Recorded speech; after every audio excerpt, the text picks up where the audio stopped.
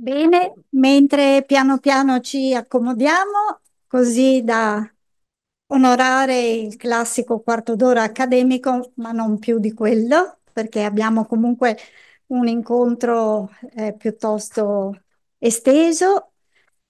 E, mh, e vorremmo che tutti i nostri relatori e relatrici abbiano lo spazio necessario per poter condividere con voi quanto hanno da dirci. Allora, prima di tutto il benvenuto a tutti voi e a tutte voi da parte della Facoltà di Giurisprudenza, del preside, professor Paolo Carta, ehm, e del professor Fulvio Cortese, che è il direttore del Master in Diritto e Politiche delle Migrazioni, che è uno dei promotori non possiamo dire storici perché il master è nuovo, ha solo due anni di vita, però è già molto attivo e impegnato su questo fronte. Quindi anche da parte eh, del collega Cortese un, un, grandissimo saluto a tutte voi e a tutti voi. Um, io vorrei in questo momento concludere la parte dei saluti e dei ringraziamenti anzitutto alle nostre relatrici e ai nostri relatori per la loro presenza qui, dei ringraziamenti a tutti gli enti, le associazioni, le istituzioni che hanno contribuito all'organizzazione dell'incontro di questo pomeriggio e quindi un grande ringraziamento alla loro fiducia, ma vorrei dare la parola per un saluto speciale ad Antonio Trombetta che è il nuovo presidente del Forum Trentino per la Pace. Grazie, grazie mille, buonasera e mh, ringrazio molto per, per l'invito, per essere qua. È un appuntamento molto, molto importante questo, come in realtà è ehm, importante che l'Università di Trento abbia un master come, come quello che è stato, è stato, appena citato, che permette di eh, creare anche della professionalità su questi temi e, ed è molto importante che ci sia e che poi venga anche riconosciuta. Ehm, l'appuntamento di oggi è fondamentale perché riusciamo anche a dare ehm, concretezza, numeri, dati, informazioni che ci permettono di guardare con un occhio molto più attento, ascoltare con un orecchio molto più preciso le narrative che riceviamo quotidianamente sui flussi migratori, sui, sulle, sui fenomeni migratori. Vi invito, vi faccio però un invito quando ascoltate questi numeri, quando leggete questi dati, di ricordarvi sempre che dietro tutto questo ci sono delle storie, ci sono delle vite, ci sono delle persone che non fanno altro che sognare di poter avere una vita, una vita migliore. Grazie.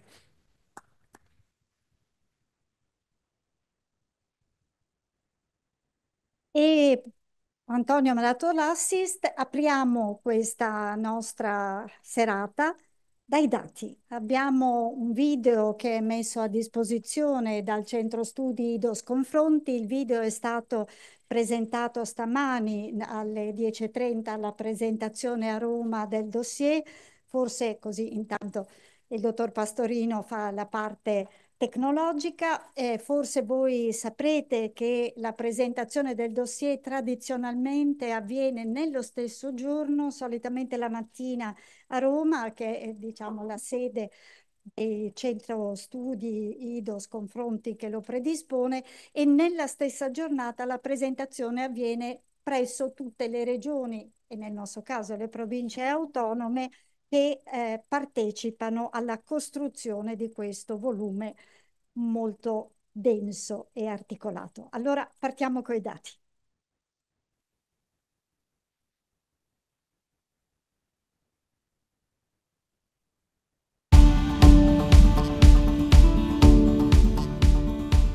Nel 2023 il numero dei migranti internazionali ha superato nel mondo i 300 milioni, pari al 3,6% della popolazione globale. Almeno 2 milioni di persone si sono spostate dal sud al nord del mondo, dove si concentra quasi la metà della ricchezza planetaria, benché vi abiti meno di un sesto della popolazione, con un PIL medio pro capite quattro volte più alto che nel sud. 733 milioni di persone soffrono la fame o l'insicurezza alimentare, mentre i conflitti in corso hanno raggiunto il numero più alto dal 1946, contribuendo alla crescita massiva dei migranti forzati. Con un aumento di quasi 9 milioni solo nell'ultimo anno, a fine 2023, il loro numero è salito a 117 milioni, sei volte più del 2000, per i due quinti costituiti da minorenni. 38 milioni e mezzo sono rifugiati e richiedenti asilo e oltre 68 milioni sono sfollati interni, mentre i circa 8 milioni di sfollati per cause climatiche vengono conteggiati a parte. Di fronte a queste potenti spinte, molti stati comunitari, tra cui l'Italia, rispondono intensificando le misure di esternalizzazione delle frontiere e di respingimento, costringendo i migranti a percorrere rotte sempre più pericolose, oltre che a subire violenze, torture e detenzioni forzate in campi dalle condizioni disumane. Nel 2023 Libia e Tunisia ne hanno bloccati oltre 93.000, mentre i morti e i dispersi accertati sono stati, nel solo Mediterraneo centrale, più di 2.500. Nello stesso anno, gli attraversamenti irregolari delle frontiere comunitarie sono saliti a oltre 385.000, più di due su tre lungo le rotte del Mediterraneo centrale e dei Balcani occidentali. A ruota sono cresciute anche le domande di asilo presentate nell'Unione Europea, 1.130.000 nel 2023, incluse quelle reiterate, un quarto delle quali riguardanti minori. Germania, Francia, Spagna e Italia ne hanno ricevute insieme oltre il 70%. Sommando gli esiti positivi in prima e ultima istanza, nel 2023 l'Unione Europea ha concesso protezione a 410.000 richiedenti asilo. A fronte di quasi 158.000 persone sbarcate, il 50% in più rispetto al 2022, e dei 12.000 ingressi segnalati dalla rotta balcanica, le nuove domande di asilo presentate in Italia sono state quasi 131.000, in aumento rispetto alle 77.200 del 2022, nonostante le restrizioni e i cronici ritardi nella formalizzazione delle istanze. Delle 46.000 esaminate in primo grado nel 2023 ha ricevuto risposta positiva il 47,5%, quota che sale al 76,4% tra le 15.000 decisioni di secondo grado. La stragrande maggioranza dei migranti in accoglienza è ancora all'interno dei centri cosiddetti straordinari, affidati in gestione a enti privati, in cui si è tornati a relegare i richiedenti asilo e a ridurre i servizi. Alla fine del 2023, su oltre 139.000 migranti accolti, solo il 25% era inserito in centri del SAI, il sistema ordinario facente capo agli enti locali. Preoccupa in particolare la possibilità di inserire nei CAS per adulti anche i minori stranieri non accompagnati con più di 16 anni, alimentando il rischio di esporli a condizioni di promiscuità, sovraffollamento e a minori tutele.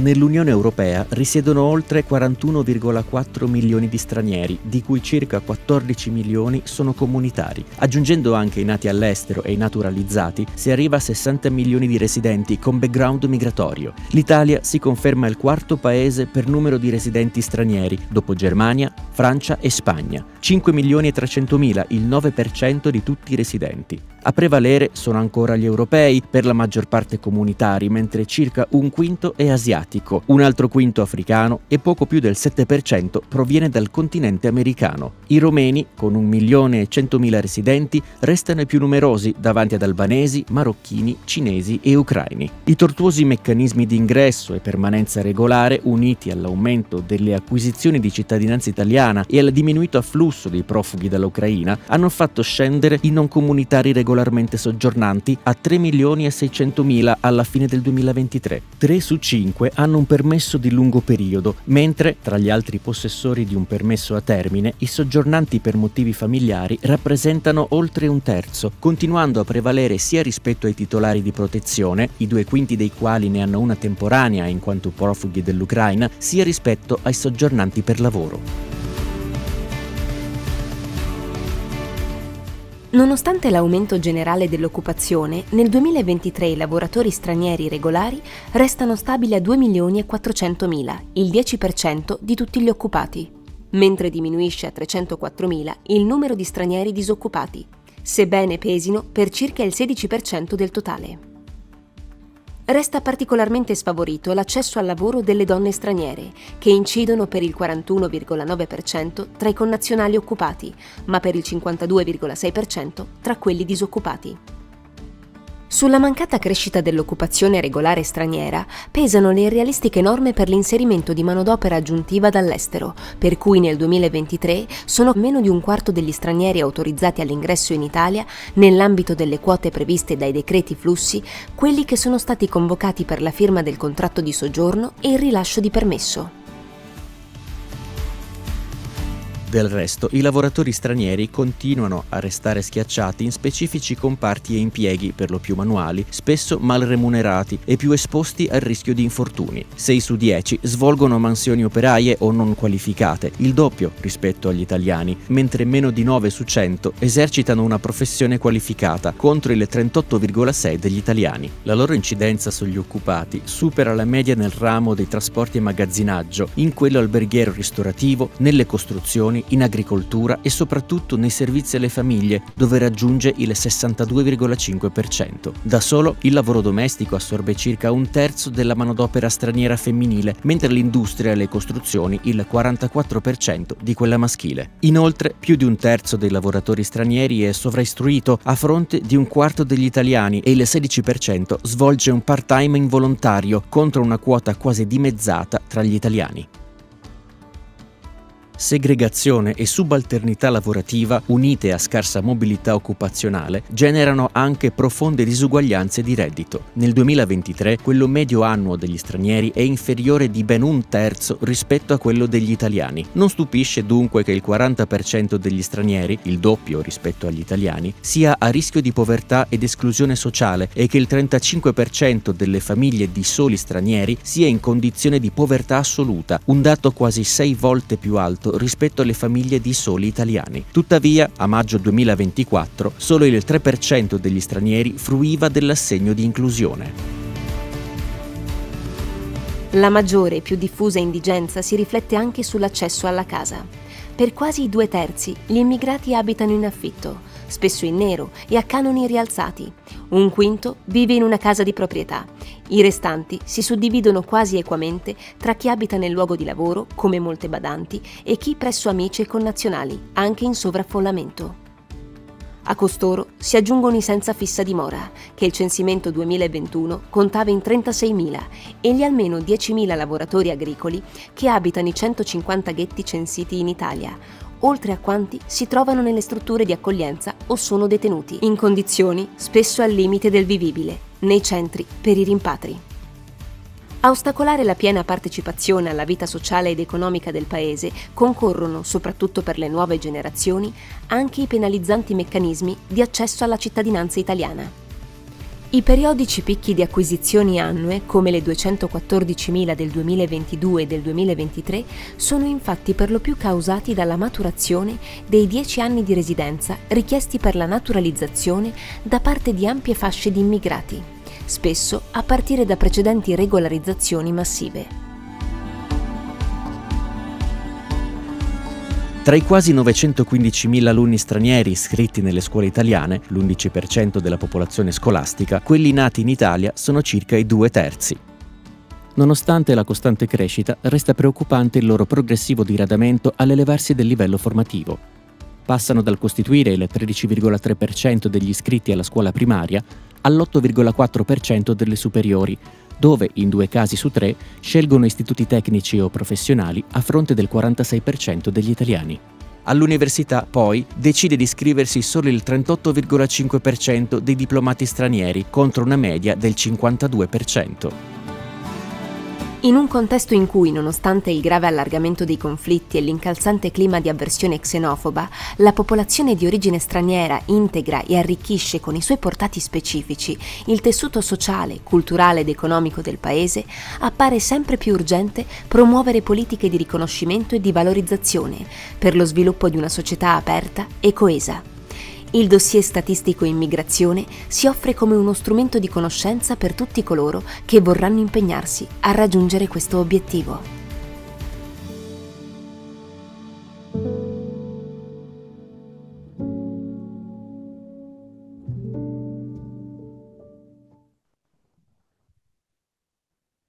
E noi ci colleghiamo a questa a questo impegno, a questa speranza, a questo desiderio. E il video lo potete recuperare agevolmente dal sito di IDOS Confronti, lo mettete, mettete la, la ricerca su un qualsiasi motore e arrivate al, alla pagina YouTube del sito. Quindi questo consente di rivedere e di fermare alcuni dati che ovviamente qui sono raccontati di corsa, ma credo che siano comunque raccontati in modo da poterci colpire.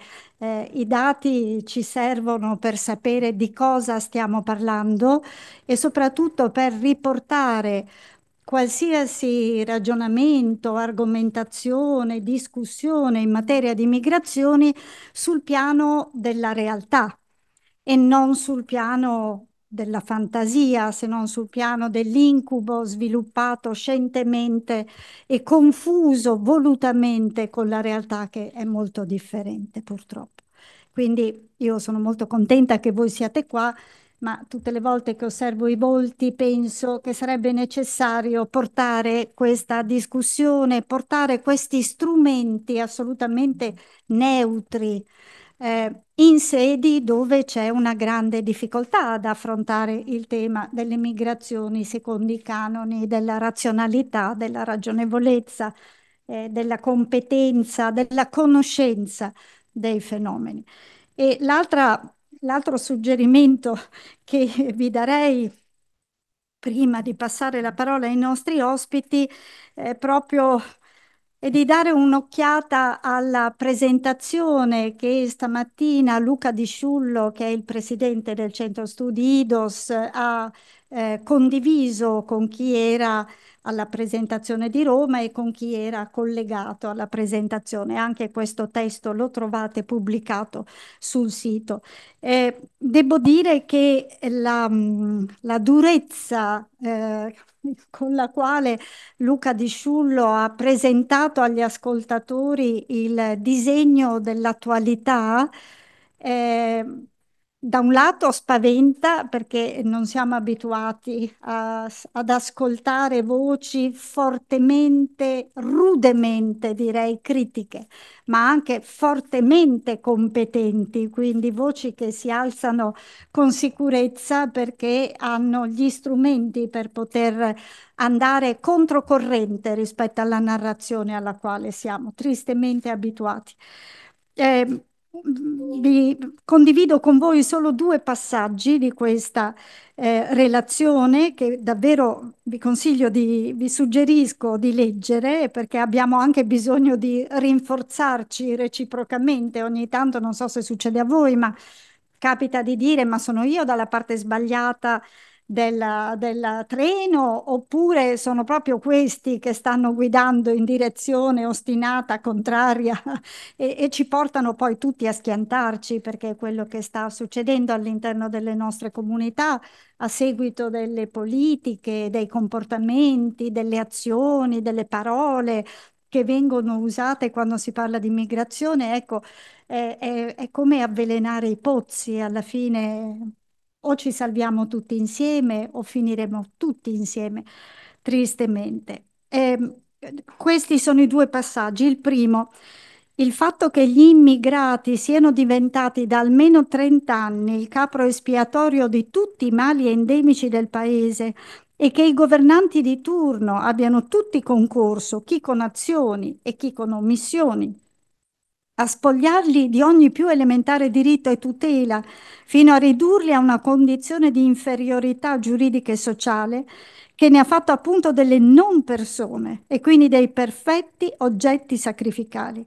Ecco, tutto ciò è talmente evidente che basta consultare le cronache. Se un anno fa Raggelavamo per lo strangolamento di un immigrato ambulante avvenuto in pieno giorno in un affollato centro cittadino senza che nessuno degli astanti che pure filmavano la scena col cellulare fosse intervenuto. Quest'anno siamo rimasti impietriti da una sessantenne che ha rincorso in auto il suo scippatore immigrato, lo ha investito, gli è passata sopra, avanti e indietro per quattro volte con il SUV, ha ripreso la borsetta e se n'è andata. La conclusione del suo, del suo lungo, dolente e duro intervento ci porta Italo Calvino e alle città invisibili e a un dialogo tra il Gran Khan e Marco Polo. Il Gran Khan esprime il suo sgomento di fronte ai rischi della città infernale nella quale tutti gli uomini e le donne rischiano di essere assorbiti e travolti e Marco Polo replica. L'inferno dei viventi non è qualcosa che sarà. Se ce n'è uno, è quello che è già qui. L'inferno che abitiamo tutti i giorni, che formiamo stando insieme. Due modi ci sono per non soffrirne. Il primo riesce facile, facile a molti, accettare l'inferno, diventarne parte, fino al punto di non vederlo più. Il secondo è rischioso ed esige attenzione e apprendimento continui, cercare e saper riconoscere chi e cosa in mezzo all'inferno. In mezzo all'inferno, inferno non è, e farlo durare e dargli spazio. Quello che proviamo a fare insieme questa sera è dare spazio a ciò che inferno non è, avendo però gli occhi ben aperti sull'inferno. E la parola la eh, darei prima di tutto a Serena Piovesan, che è un punto di riferimento eh, ormai ineludibile del dossier IDOS Confronti, perché è la referente per la provincia autonoma della, eh, dell'aggiornamento costante che di anno in anno viene garantito nella seconda parte del dossier, quella dedicata alla fotografia dei territori regionali. Serena Piovesana è sociologa e appartiene quindi alla, alla parrocchia qui di fronte tra giuristi e sociologi per, per, lungo tempo non è corso esattamente buon sangue, ma il tema dell'immigrazione, chissà perché, è un tema che riesce a metterci insieme e a permetterci di condividere le nostre competenze. Serena quindi ci parlerà della dimensione territoriale, il quadro della provincia autonoma di Trento. Prego. Grazie e ben ritrovati e ben ritrovate. Uh, cercherò di essere uh, sintetica e, e, nel farlo devo anche selezionare uh, i dati che mh, mm, espongo. Poi mh, mm, ecco nel dossier trovate un, maggior, una maggior ricchezza in questo senso che purtroppo non sempre eh, corrisponde anche alla ricchezza di dati che abbiamo per il livello nazionale o regionale, ma mh, mm, certamente molte delle tendenze mh, mm, che sono anche state eh, nominate durante il video, penso ragionevolmente siano anche eh, tendenze che riguardano la provincia di Trento, anche se non abbiamo dati in questo senso. Partirei dal, mm, da una fotografia provvisoria, diciamo, del 2023 eh, popolazione straniera residente in provincia di Trento. Uh, L'Istat uh, attesta in via appunto provvisoria, credo che entro la fine dell'anno avremo il dato consolidato, uh, 47.000 circa stranieri residenti in Trentino. È un valore in crescita, mille circa 400 persone in più rispetto ai residenti stranieri che si erano registrati nel uh, 2022. Uh, che rappresentano uh, l'8,6% della popolazione uh, residente in Trentino. sono donne nel 51,4% dei casi. Sappiamo poi che all'interno dei principali gruppi nazionali ci sono uh, profonde differenze in termini di distribuzione di genere, differenze che poi uh, osserviamo anche nell'analisi della popolazione straniera per età. Uh, le donne eh, nella fascia eh, di età degli stranieri sopra i 65 anni sono eh, ben più della metà del totale. Minori nel 20,2% dei casi, un valore molto importante eh, a conferma mh, più in generale eh, della diciamo, distribuzione, della distribuzione per età particolarmente diversa tra eh, italiani e stranieri, con eh, gli stranieri che sono insomma eh, mediamente più giovani degli italiani di circa 10 anni e eh, che vedono comunque una crescita abbastanza importante eh, anche nelle fasce di età eh, più mature, dove però incidono veramente molto poco eh, sul totale rispetto a quanto incidono gli anziani sulla popolazione italiana. Questi 47.000 stranieri residenti quasi nel 30% dei casi risiedono nel comune capoluogo e eh, territorio della Valle dell'Adige, Vallagarina, Altogarda eh, e Ledro sono le comunità di valle che raccolgono eh, il maggior numero mh, dei, eh, degli stranieri residenti. Eh, per il 2022 abbiamo a disposizione ehm, la fotografia definitiva della popolazione straniera residente per eh, nazionalità, quindi ci sono valori calcolati sui 45.620 residenti del 2022.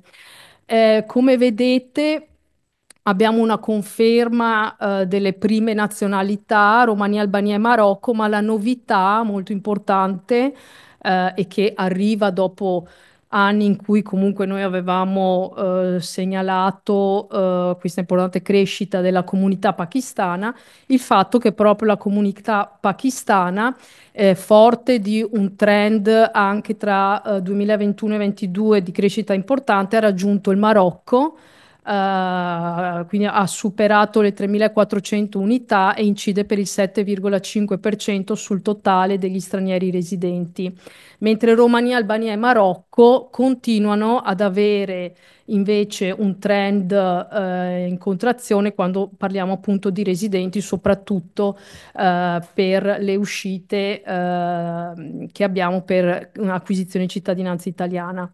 Eh, L'Ucraina eh, si attesta al quinto posto e come il Pakistan eh, rispetto all'anno precedente ha un trend eh, di crescita. Complessivamente, quando parliamo di stranieri residenti in Trentino, parliamo nel 30% dei casi di cittadini comunitari e nella maggioranza eh, dei casi di cittadini che arrivano da un paese europeo. Dicevo che eh, gli stranieri in Trentino incidono per l'8,6%, questo grafico per mostrarvi che si tratta di un'incidenza che è inferiore sia a quella media italiana che a quella eh, diciamo di altri contesti eh, del nord-est e inferiore anche a quella che si registra in provincia di Bolzano, appunto 8,6 di incidenza sul totale a Trento, in provincia di Trento 10,3 eh, in provincia di eh, Bolzano. Quindi sono lontani i tempi in cui eh, l'incidenza che eh, si registrava in questo territorio eh, era sopra invece anche la media del nord-est. Uh, un altro uh, dato uh, interessante riguarda sicuramente i nuovi permessi rilasciati nel 2023, che sono in forte contrazione rispetto a quelli che si erano registrati nel 2022. Parliamo di circa 3.300 eh, nuovi permessi rilasciati. Eh, come vedete, eh, il principale motivo rimane la famiglia, quindi arrivi eh, collegati a ricongiungimenti familiari, quasi il 41%. Eh, rispetto all'anno precedente è crollato il numero eh, di mh, mm, nuovi eh, rilasci mh, mm, per protezione, quindi eh, permessi che erano stati rilasciati a cittadini ucraini, eh, crollati appunto da, complessivamente da, 900, da 2.500 che erano nel 2022 a, a 900 nel 2023. La protezione, l'asilo comunque rimane una componente importante delle motivazioni pari al 27,5%. Eh, il lavoro solo il 15,4%, eh, nel caso poi del Trentino eh, sicuramente quando parliamo di lavoro e di nuovi permessi rilasciati per lavoro, una quota importante riguarda il lavoro stagionale. il dato sui soggiornanti non comunitari, quindi cittadini non comunitari eh, titolari di un regolare permesso di soggiorno, eh, ci dicono che eh, sono diminuiti da un anno all'altro, circa 1400 in meno. Anche in questo caso eh, incide eh, diciamo, l'effetto ormai esaurito dei permessi per protezione temporanea rilasciati a cittadini ucraini. Uh, parliamo complessivamente di 30.800 persone circa. Eh, in questo uh, volume complessivo i lungo soggiornanti incidono per il 56%, eh, che è una quota che in Trentino negli ultimi anni sta uh, diminuendo ed è mh, mm, eh, diciamo inferiore in maniera piuttosto significativa anche a quella che si registra complessivamente nel nord-est. Um, le dinamiche che hanno interessato uh, la popolazione eh, straniera uh, residente in Trentino nel 2023, anche in questo caso dati che andranno poi confermati, ci hanno mostrato, come dicevo, l'aumento dei residenti anche grazie alla conferma di un volume importante di nuove iscrizioni di stranieri dall'estero ma risentono eh, in maniera importante da anni, ovviamente, anche eh, di quello che avviene sul fronte acquisizione di cittadinanza e eh, sul fronte nuove eh, nascite. Come potete vedere dal grafico, eh, negli ultimi dieci anni Uh, le nascite mh, da genitori entrambi stranieri hanno continuato a diminuire, diminuiscono anche tra 2022 e 2023, siamo sotto i 500 nati da entrambi i genitori stranieri. Uh, tra l'altro questa componente rispetto a quella dei eh, nati da padre italiano, madre straniera, madre eh, italiana e padre straniero sono quelli che diminuiscono in maniera mh, percentualmente più importante. Uh, si tratta comunque di una componente che rappresenta il 13% del totale uh, delle nascite. Se noi consideriamo però le nascite eh, da coppie con almeno un genitore straniero, l'incidenza eh, rimane ancora importante, pari al 24%. Su questo trend, eh, di cui sentiamo sempre molto parlare eh, e che ci fa anche capire quando eh, compariamo, eh, diciamo, mettiamo in comparazione il trend che riguarda ormai da molti anni la popolazione italiana e i nati da cittadini italiani e quello che accade nella popolazione straniera ci fa capire come nel tempo eh, i cittadini stranieri si siano avvicinati evidentemente ai comportamenti riproduttivi eh, degli italiani, ma ci mostrano anche quanto pesa in questo senso il calo progressivo delle donne eh, straniere in età fertile, quindi tra i 15 e i 49 anni, e loro ovviamente anche eh, invecchiamento abbiamo calcolato eh, che eh, le donne appunto straniere in età eh, fertile sono 13.300 circa nel 2023, ma dieci anni fa erano 16.700, quindi eh, vediamo insomma una contrazione veramente molto importante che avrà eh, un impatto anche eh, nel prossimo anno sul dato ovviamente dei nati stranieri.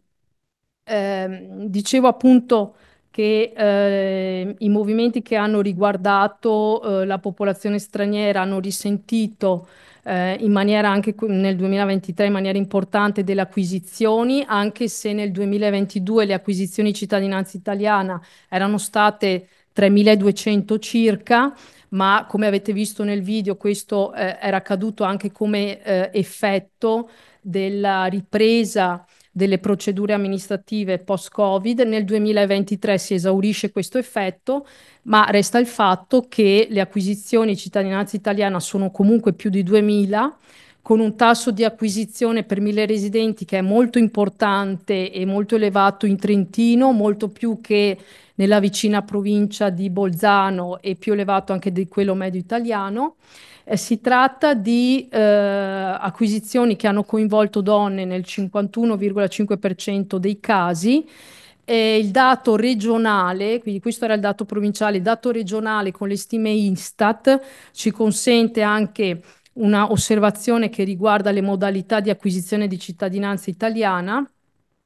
Eh, nel caso appunto della regione Trentino-Alto Adige, eh, le ultime stime ci dicono che eh, nel 2023 eh, queste acquisizioni sono avvenute nel 47% dei casi per residenza, quindi eh, insomma naturalizzazione, una quota veramente molto importante. La quota per matrimonio eh, negli anni insomma, ha perso eh, gradualmente importanza e si attesta al 10%, ma il 43% è eh, rappresentato da acquisizioni che sono eh, avvenute per il canale o della trasmissione ai figli minori da parte dei genitori eh, diventati italiani e questo penso sia il canale in questa voce eh, che eh, predominante. Sicuramente poi in questa voce rientrano, ma con un peso probabilmente inferiore, le acquisizioni per elezione, quindi eh, persone diventate diciottenni che sono nate hanno vissuto in Italia e poi le acquisizioni eh, per discendenza. Uh, delle osservazioni uh, sicuramente importanti riguardano anche gli studenti, gli alunni con cittadinanza non italiana. Sono tornati a crescere uh, nel anno scolastico 2022-23, rappresentano il 12,5% del totale della popolazione scolastica in provincia, parliamo di circa 9.700 alunni. Eh, come avete sentito nel video, eh, la quota tra gli stranieri dei nati in Italia è veramente in, rilevantissima. Eh, anche in Trentino due stranieri su tre sono nati in Italia. Uh, nel caso poi della scuola dell'infanzia, oltre l'80% degli stranieri è nato in Italia. Eh, ma eh, nell'ultimo anno scolastico per cui i dati sono a disposizione si nota una contrazione comunque della componente straniera nata in Italia che riguarda tutti gli ordini tranne la scuola secondaria e secondo grado dove invece abbiamo una crescita importante di questa componente. Eh, rimando a un report eh, di ISPAT che ha lavorato anche con IRVAP e eh, IPRASE su alcuni dati molto interessanti eh, relativi a studenti eh, che hanno terminato il primo ciclo dell'istruzione eh, anni fa e che quindi eh, sono stati al centro di un'osservazione per vedere i loro percorsi di istruzione, quindi scelte della scuola secondaria di secondo grado e poi percorsi eh, nel mercato del lavoro. Ehm, lo riporto per dire quanto è importante, fa la differenza il luogo di nascita degli studenti. Eh, in, questa, eh, in questo approfondimento eh, è emerso eh, che mh, la probabilità di scegliere un liceo tradizionale, quindi classico, scientifico, linguistico, è eh, doppia per chi è nato in Italia rispetto a chi è nato all'estero e la probabilità di iscriversi a un percorso di istruzione formazione professionale è doppia per chi è nato all'estero rispetto a chi è nato in Italia. La cosa molto interessante che rilevano questi dati è però che rispetto a queste, questa variabile, quindi il luogo di nascita e anche per esempio alla variabile di genere, eh, un effetto che annulla eh, l'impatto di queste variabili è dato dal voto all'esame finale del primo ciclo e all'impatto che ha il ritardo scolastico eh, sulle scelte poi eh, in uscita, le scelte della scuola secondaria superiore. Quindi ehm, in, diciamo, in sintesi, aver, essere usciti con un buon voto al, all'esame finale del primo ciclo, al di là di dove sei nato, eh, fa la differenza, fa mh, scegliere con maggiore probabilità eh, un liceo rispetto che a un percorso di formazione eh, professionale. Eh, qualche eh, elemento anche per quanto riguarda eh, il mercato del lavoro. Eh, forse insomma l'avrete letto, lo avrete sentito anche in questi giorni perché è stato ripreso anche dal presidente di Confindustria Trento, ma già Banca d'Italia in un uh, recente report ha messo in evidenza le difficoltà nel reperimento di man manodopera. Si sottolinea quanto queste difficoltà siano in crescita negli ultimi anni e che siano molto elevate, più uh, in Trentino in Alto Adige che nel resto d'Italia.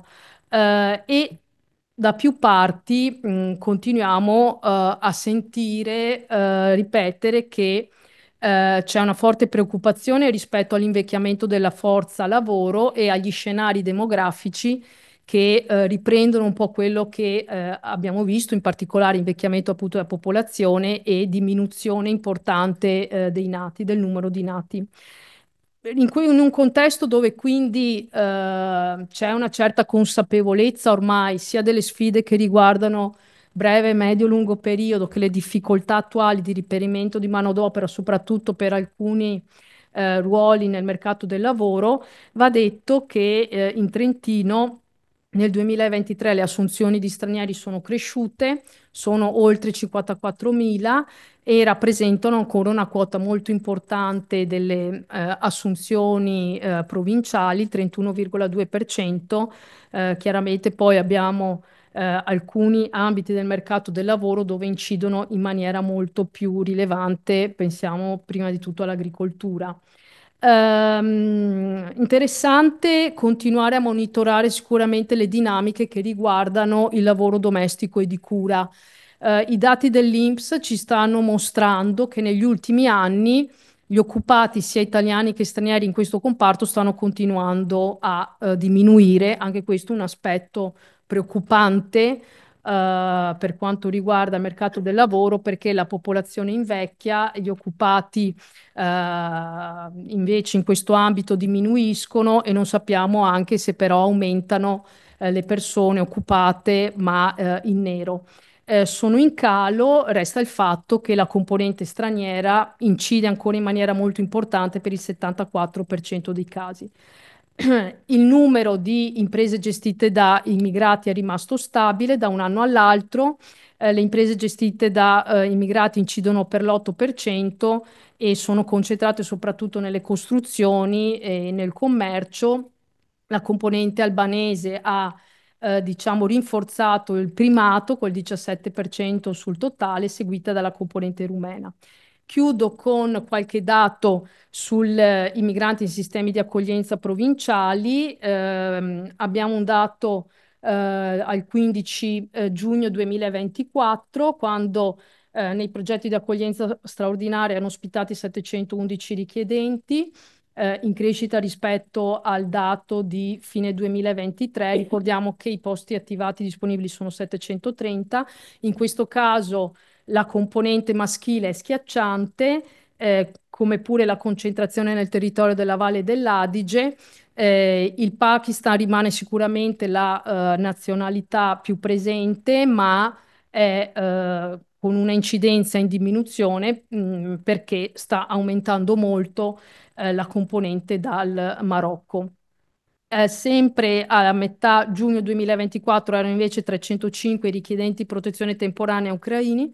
Sappiamo che qui la componente femminile eh, invece è molto più eh, importante, così come la quota dei minori e per, proprio per quanto riguarda i minori, eh, i dati più aggiornati eh, del Ministero del Lavoro e delle Politiche Sociali sui minori stranieri non accompagnati ci dicono che alla fine settembre erano presenti Tretino 77, minori stranieri non accompagnati, erano 101 un anno prima, 74% sono maschi, i primi gruppi sono Ucraina, Marocco e Albania, nel caso dell'Ucraina eh, va detto che la composizione di genere e la composizione per età è particolarmente diversa rispetto a quella che vediamo tra i minori stranieri non accompagnati dal Marocco e dall'Albania, perché nel caso dell'Ucraina c'è un maggior bilanciamento di genere e eh, una presenza di minori anche nelle fasce eh, più piccole, diciamo, eh, di età.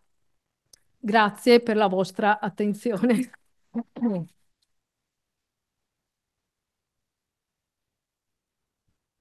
Grazie a Serena Piovesana, anche eh, apprezzamento per la sua attenzione, per la fatica di dover restringere una presentazione in poco tempo, quindi grazie davvero. Restiamo sempre dall'altra parte della strada e quindi restiamo sempre con i colleghi sociologi. Paolo Boccagni credo non abbia bisogno di presentazioni anche perché eh, insomma, io lo ricordo quando ancora la presentazione del dossier si faceva economia a cura del Cinformi, altri tempi decisamente, molta acqua è passata sotto i ponti e non solo acqua. Ehm, e eh, Paolo Boccagni questa sera eh, ha accettato di essere qui con noi e lo ringrazio in particolare perché è un po' l'alter ego del dietro i dati e dentro i dati ci sono le persone. Eh, Paolo Boccagni ha scritto questo libro molto molto bello a leggere le recensioni, faccio come San Giuliano, lo leggerò, per adesso ho letto le recensioni. eh, scusate, mi è venuto proprio, che cosa stupida. Eh, però però ehm, il, il titolo del libro Vite ferme dà proprio la netta sensazione di come eh, molte persone, tra quelle che eh, Serena ci ha presentato aggregando i numeri, sono persone in attesa, in attesa da tempo, mm, per un tempo che ancora forse non è dato conoscere. Sapete che la burocrazia italiana non si smentisce nella sua storia, quindi adesso non le parrà vero di non avere solo i cittadini da vessare, ma anche i non cittadini del nostro paese, ma naturalmente sempre cittadini di qualche paese sono. Eh, quindi chi attende una decisione sul suo status, sul suo futuro e, e non sa, non sa come eh, ingannare il tempo e soprattutto non sa credo, come valorizzare il tempo che è stato necessario per raggiungere il nostro paese. Prima parlavo brevemente con la dottoressa Tere Powell di Astalli che eh, mi raccontava di quali grandi fragilità e, e preoccupazioni anche si vedono eh, rispetto alla salute psichica delle persone che raggiungono il nostro paese e che nel nostro paese sono con la vita ferma in attesa. A Paolo Boccagni quindi eh, il compito di illustrarci, seppure in questo tempo rado, il tempo dell'attesa e il senso di un sistema. Grazie e buonasera a voi. Eh, la mia presentazione voleva venire dopo quella di Serena, più, più, più anche come sempre ci ha dato un quadro lucido e, e preciso dei dati, per partire dai dati ma andare un pochettino eh, oltre. I dati eh, raccolti bene, come in questo caso con l'IDOS e IDO, hanno il grande peggio che ci aiutano a dare una dimensione alle cose, a stare nel registro della uh, realtà e non delle fantasie, dei miti o delle paure di turno ma eh, con tutta eh, l'importanza che hanno per le politiche e, e, per tutto quanto, sono comunque, non sono ancora un punto di eh, arrivo. Perché non sempre eh, bastano per andare oltre una eh, barriera che io sento essere un aspetto particolarmente inquietante per il dibattito su questi temi, cioè tra le persone che comunque anche a prescindere dai dati in una certa misura, hanno sensibilità, interesse, motivazioni a accompagnare i processi migra migratori in un modo o eh, nell'altro. E le persone che comunque, almeno in una parte della po popolazione, hanno una certa dose di ostilità di eh, principio, magari anche alimentata da eh, povertà, da fatiche di vita importanti, da un, da un certo tipo di discorso politico e, co e, così via, per cui si possono tirare fuori tutti i dati del mondo, ma non cambia più di tanto la eh, percezione. Secondo me una delle eh, sfide più eh, importanti è come lavor lavorare per, per, colmare un pochettino la eh, distanza tra questi due mh, mondi. E uno dei tanti modi in cui lo si può fare, uno di quelli in cui ho cercato di, di lavorare di più nel, nel, mio piccolo negli ultimi anni, ha, a che fare con le eh, storie.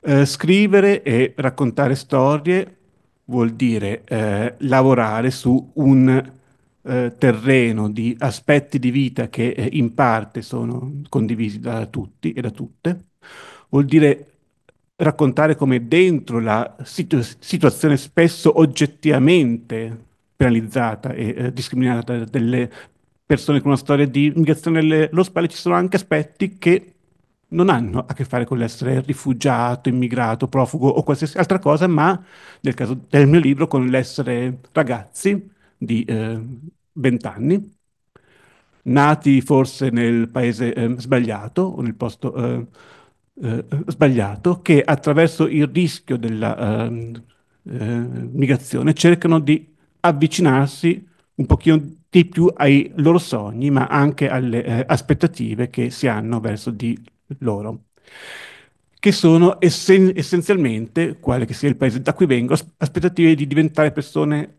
eh, adulte, responsabili, in grado di, eh, prov- di farsi carico delle eh, famiglie e delle persone fragili che eh, stavano con loro. È, eh, è, eh, paradossale da un certo punto di vista, anche se una cosa abbastanza nota a, a chi sta su questi temi, che persone nulla tenenti che appaiono come mosse dalla uh, disperazione, che oggettivamente rischiano la propria vita un numero di volte per, arri- per uh, arrivare qui, semmai arrivano qui, siano sempre, e comunque dal punto di vista di chi è um, rimasto nei paesi da cui vengono, persone forti, eh, risorse e eh, responsabili per il eh, benessere e il, e il, miglioramento di vita di eh, tutti. Uh, vite ferme è la storia di eh, alcune di queste vite che, come tante, come centinaia di migliaia di altre, non sono ancora riuscite a realizzare questo sogno e dovere morale allo stesso tempo procurarsi una vita migliore per sé e per eh, le famiglie da cui, da cui, si viene a partire dall'autonomia. Uh, uh, uh, Il libro è una eh, storia frutto di una eh, etnografia, quindi di un lavoro di osservazione partecipante che ho avuto il privilegio di poter fare per quattro anni in un centro di eh, accoglienza che parla di eh, spazi abitati nella vita quotidiana, di eh, luoghi, stanze, corridoi, piani e di persone che abitano questi spazi per un certo numero di eh, anni. Sono persone che convenzionalmente chiamiamo eh, migranti, che eh, in realtà sono le meno mobili di tutte, perché eh, non hanno diritto alla mobilità se non a condizione di perdere quella eh, minima tutela giuridica e sociale che hanno. Sono persone che hanno alle spalle percorsi di migrazione rischiosi, complessi, controversi, ma che si trovano una volta arrivati in Italia, sbarcati, passati per la redistribuzione sul, sul territorio e così via, in una specie di eh, bolla di spazio e di tempo che tipicamente dura due, tre, anche quattro anni una eh, bolla, che è uno dei possibili, per fortuna non l'unico sviluppo della eh, eh che è fatta di una condizione molto ambigua, perché nessuno, almeno non in questi casi, è letteralmente la, lasciato per strada. La, eh, un letto, un tetto sopra la testa per un certo periodo finché ci sono le condizioni eh, minime, i eh, requisiti di, le, di, le, di, le, di legge minimo ci sta. Tutto il resto non, non ci sta. E negli anni, con i tagli delle politiche di eh, accoglienza a livello nazionale e, e, e poi su, eh, nel nostro piccolo, come sa, sappiamo, sappiamo anche, anche, qui ci sta eh, molto meno.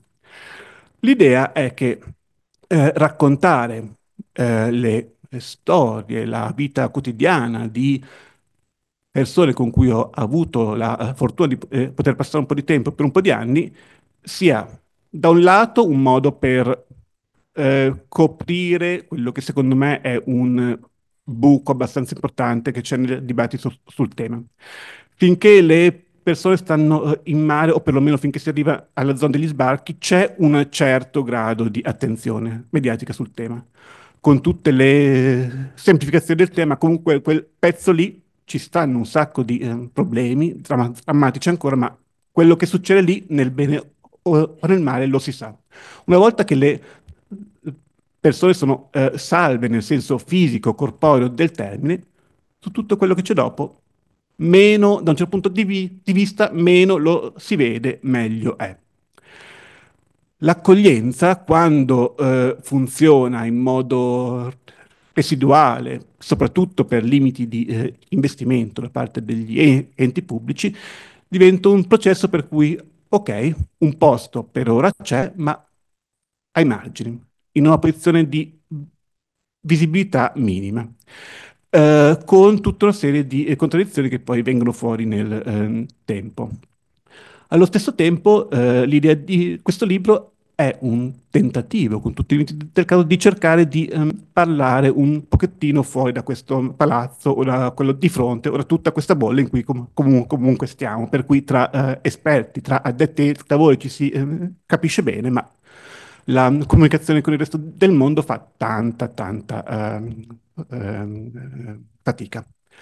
L'idea è che stando, o almeno il eh, desiderio, è che stando su un registro di eh, narra- di, eh, narrazione che parla di vite che assomigliano per certi aspetti a tante altre, soltanto più realizzate, più uh, disu- disu- disuguali, si possa creare un terreno per cui non si eh, incontra più il rifugiato, l'immigrato, tutti gli aggettivi che volete voi, ma una persona particolare con un suo nome, con una sua ide- ide- identità, con una storia.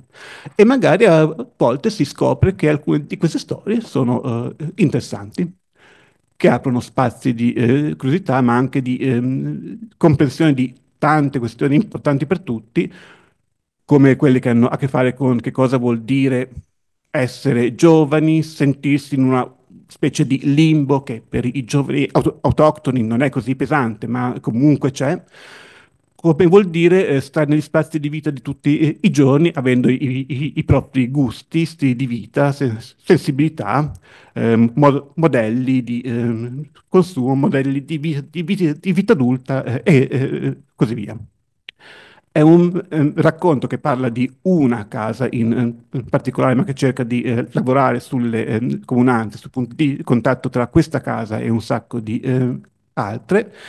È un eh, lavoro che ha a che fare con il racconto di eh, un tempo, quello in cui si sta comunque nelle maglie dell'accoglienza, che è potenzialmente un tempo in cui si potrebbero fare un sacco di cose, ma se non ci sono i mezzi, i sostegni e le eh, motivazioni, si rischia di passare anni in cui la sopravvivenza c'è, ma il resto non si riesce a, a crearlo. Ed è eh, un libro che cerca di raccontare storie che guardano a um, dopo, fatto di eh, persone che ho avuto appunto la fortuna di eh, incontrare, alcune sono sicuramente passate anche per i servizi di centro stali piuttosto che di ATAS, piuttosto che delle altre as as associazioni del uh, uh, territorio. Una, una, sola di queste, uh, Salim, purtroppo non è più tra noi perché è mancato l'anno scorso, il punto è cercare di, da una parte per me come ricercatore di mettere nero su bianco, di tenere, di salvare qualche cosa di percorsi di vita che hanno una visibilità molto bassa ma che si dimenticherebbero nel tempo. E, da, e per l'altro cercare nel farlo di raccontare che a prescindere dalle visioni politiche, ideali, bla bla bla bla bla bla, ci possono essere delle cose eh, interessanti da leggerci e da ehm, scoprire anche per chi non eh, ha un interesse specifico con il eh, tema con l'idea di fondo, con questo chiudo, che eh, come eh, ha scritto qualche anno fa una grande scritti, scrittrice di cittadinanza inglese e di origine turca che si chiama Elif Shafak, che oh, Shafak credo che ha, ha scritto un sacco di, eh, be di eh, belle storie, abbiamo eh, bisogno non soltanto di dati, di eh, conoscenza, ma anche di storie, di passare per canali che rispetto alle non persone, che gli eh, immigrati sono sempre, sempre, stati, ma oggi probabilmente lo sono ancora peggio di prima, cerchino di eh, umanizzare, di raccontare di quello che è comune a tutti, tutte, e forse un po' alla volta eh, sgranino un, po', un pochettino la uh, barriera in cui sono costretti loro, ma in cui spesso è costretta anche la comunicazione tra chi sta sul tema e eh, il resto del mondo. Questa è l'idea di eh, vite ferme, storie di migranti in attesa. Grazie.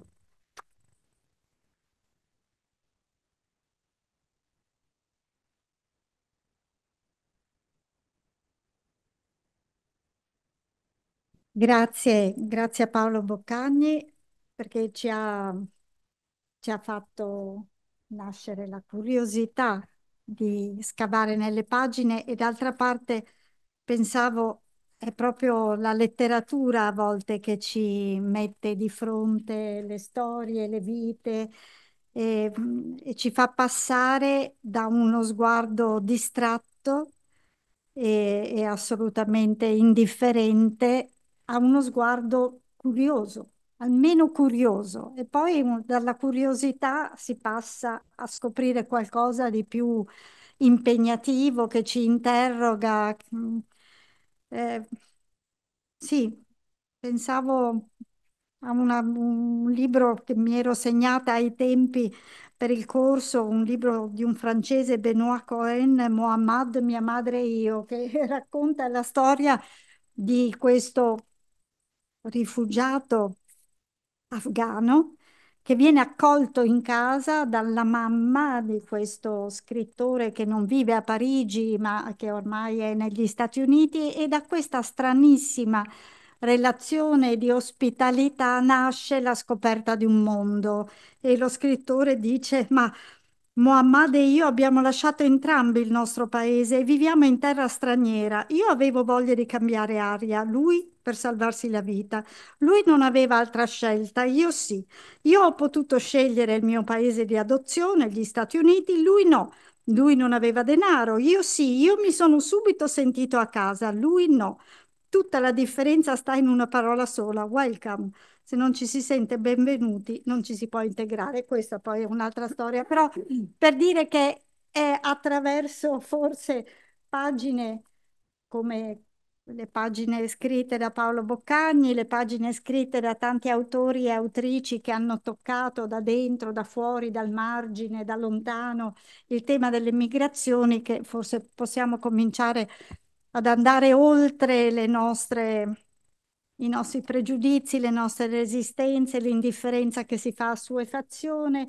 Sicuramente chi non è assuefatto è Stefano Greif, presidente del Centro Astalli, che è stato citato anche da Paolo Boccagni e al quale passo subito la parola. Bene, grazie e una buonasera a tutti voi. Grazie del, di avermi coinvolto in questo importante momento. Cercherò di portare alcune riflessioni per aiutare a ragionare insieme, perché penso che l'occasione della presentazione di un rapporto, al di là del fatto che presenta i numeri, e devo dire che in una società come quella di oggi, dove si tende molto a mistificare, a costruire paure, anche i numeri hanno un ruolo importante, perché riescono a togliere quel velo di falsità o di false certezze che spesso accompagnano i dibattiti, specie su questo tema. E soprattutto i numeri dicono una cosa, che viviamo ma non è una cosa nuova. Viviamo in un mondo che si muove, in una civiltà in movimento, ma questo non è di oggi, questo è di sempre, perché fin dall'antichità le, i popoli, le persone si sono spostate, si sono mosse e quindi il, il viaggiare, il muoversi fa parte dell'essere stesso dell'umanità. Eh, però è, è importante, eh, quello che diceva adesso il professor Boccagni è straordinario, capire e cercare di andare al di là dei numeri e provare a comprendere non solo il fatto che i numeri rappresentano delle persone, no?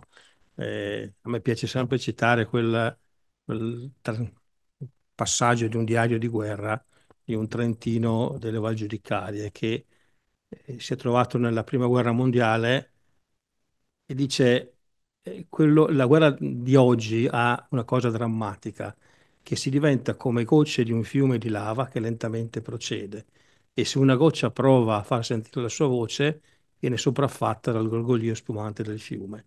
È un po' questo, no? Eh, le statistiche, i numeri sono importanti, ma ci devono stimolare a dare voce ad ognuno di questi, di questi numeri. Ecco. Eh, il, il, tema del, del, mio intervento è lo stato di salute dell'accoglienza del Trentino. Beh, io penso che eh, per dare questa risposta dobbiamo fare un passo indietro. Dobbiamo chiederci qual è lo stato di salute della comunità trentina, perché credo che ci sia un legame inscindibile fra accoglienza e comunità. L'altro giorno ero a una presentazione, a un dibattito eh, di questi che si fanno in questi, questo periodo sull'autonomia ero seduto vicino a un mio amico e mentre si dibatteva di data center, di economia, di grandi visioni, di grandi... E lui si è avvicinato e mi ha detto ho l'impressione che siamo tornati nel Medioevo. Io l'ho guardato e ho detto ma come se parla di data center mi parli di Medioevo? No, dice perché ho l'impressione che siamo come chiusi dentro un castello dove ce la raccontiamo, ci diciamo quanti sono bravi, quanto siamo evoluti, quanto sappiamo guardare avanti, però ahimè al di fuori delle mura del castello le, le, le, i numeri di quelli che vengono espulsi sono drammaticamente sempre di più. E in tutti questi dibattiti sono sempre gli assenti. Perché se voi vi guardate i temi che vengono proposti, difficilmente trovate un dibattito dove si faccia un ragionamento sulle povertà, che non sono solo quelle dei profughi, dei migranti, ma sono le povertà di una comunità, povertà che crescono sempre di più e che sono ormai relegate al di fuori delle mura eh, di questo castello. Allora dobbiamo porci insomma eh, questa domanda. No? La settimana scorsa ero a, a un confronto, pochi giorni fa, in Val di Sole, e si, si ragionava sul flusso del Marocco, no? E, ma come mai dal Marocco? Allora abbiamo detto, ma voi sapete che c'è stato un terremoto? E un signore di 60 anni, negli anni 60 mi ha detto, ma sì, anche negli anni 60, ma ce n'è stato uno l'anno scorso che ha fatto 3.000 morti e migliaia e migliaia di persone che sono fuggite, allora eh, bisogna che ci rendiamo conto che purtroppo chiusi in questo castello, in queste mura, stiamo perdendo di vista quello che è la realtà del mondo. Eh, il, il sunto del dossier che è stato inviato parla di un mondo ormai invivibile, dove zone intere del paese, sono, de, del, del, pianeta non sono più, non sono più vivibili dalle, dalle popolazioni e questo spinge chiaramente a muoversi e, e a fuggire. Allora, eh,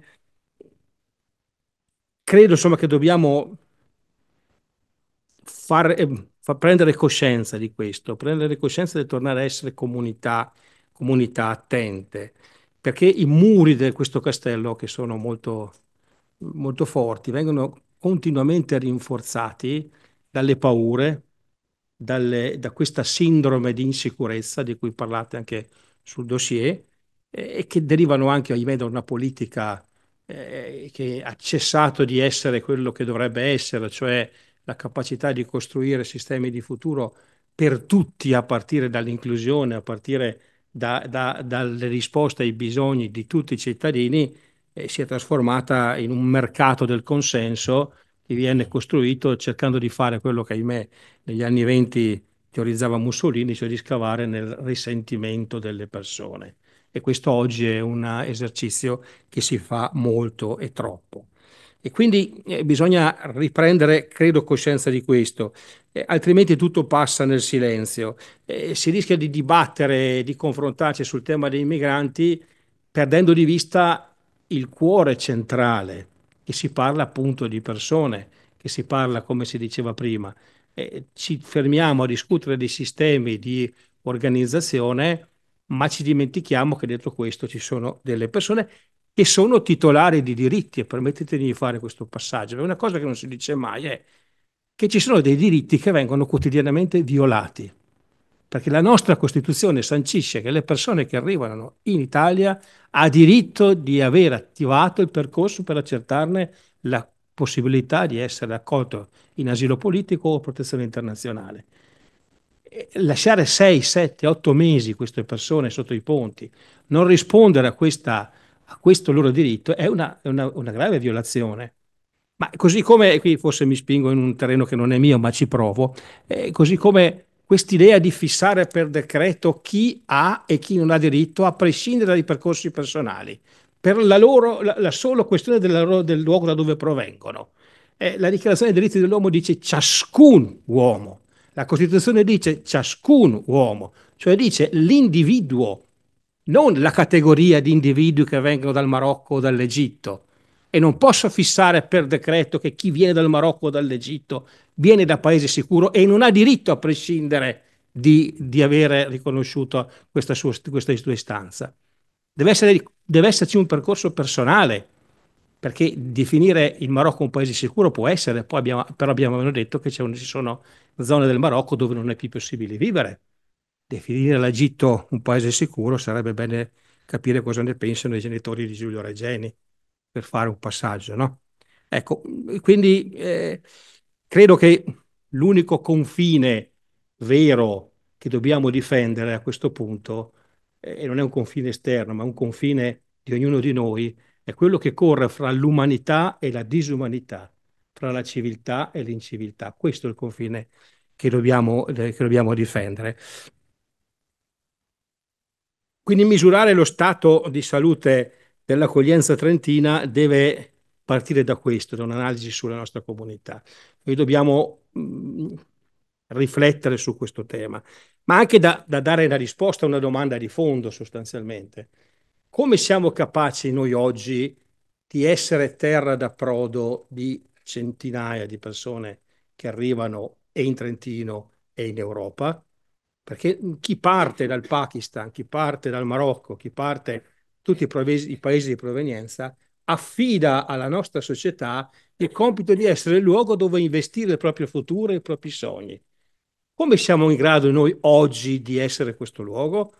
Oggi non lo siamo o difficilmente lo siamo, anzi, anzi quello che eh, diceva prima la professoressa Borgonovo e che riportava la nostra dottoressa Ingrid, è vero, se c'è un dato incontroversibile che se fino a qualche anno fa le persone che arrivavano potevano iniziare da subito i percorsi di integrazione, di apprendimento della lingua italiana e i percorsi sociali, oggi hanno bisogno di essere ricostruiti come donne e come uomini, perché questi, questi viaggi che non terminano mai demoliscono quotidianamente la loro dignità, ma soprattutto li rendono fragili psicologicamente e, e, e, portano a persone che sono gravemente compromesse.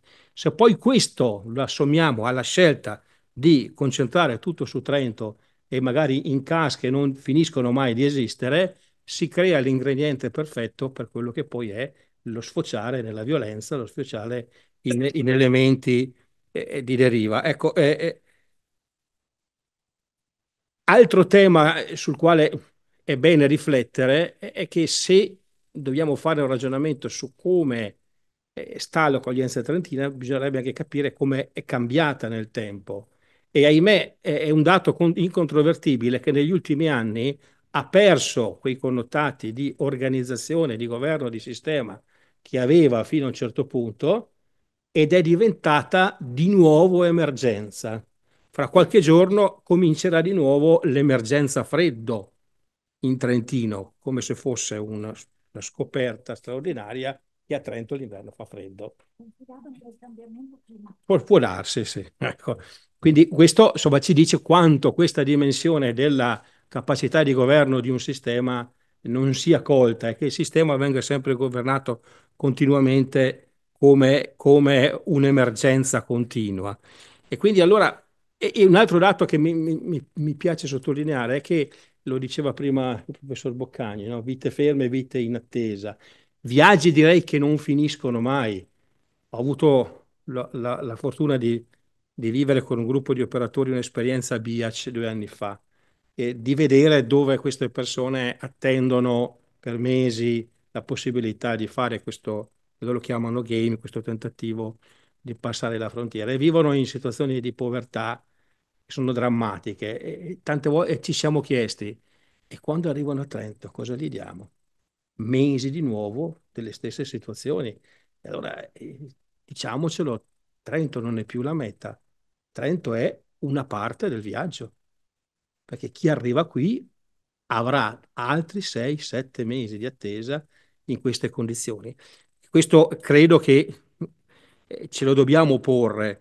Eh, la, l'insicurezza, l'idea di insicurezza che viene costruita, perché chiaramente lo sappiamo che è il meccanismo migliore per costruire consenso, è voluta e costruita in questo modo, ma l'unico modo, ed ecco perché credo la parte politica che ci governa scusate se sono su questo chiaro, non vuole ragionare in termini di accoglienza diffusa, perché lo diceva prima molto bene il professor Boccagni, la prima cosa che demolisce la paura è la conoscenza. E il portare le persone a contatto con le comunità demolisce tutta questa costruzione di paure, di indifferenze che, sulla quale, sulla base della quale si costruisce il consenso e si costruisce un sistema che punta a disincentivare gli arrivi a Trento, a chiudere il Trentino, a portare le persone fuori, a fare in modo che le persone eh, che arrivano possano fermarsi il meno possibile, magari buttando lì soluzioni veloci come i CPR che non c'entrano nulla e che non danno risposte reali, senza dire che poi eh, magari mancano anche accordi bilaterali con i paesi che consentono di, di, di, di fare i rimpatri, no? E quindi rischiano di diventare dei lager dove richiudiamo le persone finché riusciranno a rimpatriare. Eh, però, ecco, dopo questo ragionamento un po' fosco, devo anche dire, ed è giusto dirlo, che se, dovessimo, se dobbiamo misurare anche il sistema di accoglienza trentino, ci sono anche delle luci. E chi poi parlerà dopo di me ci racconterà un'esperienza in questo senso. E Don Ciotti qualche anno fa, quando era venuto a Trento, diceva che è nel buio che brillano le stelle. Ed è vero, insomma, ci sono delle esperienze positive, sono le decine di volontari che ancora si occupano quotidianamente di dare risposta alle persone che arrivano, volontari, operatori, operatrici, eh, a Trento e sui territori. Ecco, forse eh, a, a, noi e a, a, chi ci prova eh, il, ci viene chiesto qualcosa di più oggi, credo, e con questo chiudo. Eh, ci viene chiesto di tornare a lavorare, e torno all'inizio del mio ragionamento, nelle comunità e sulle comunità.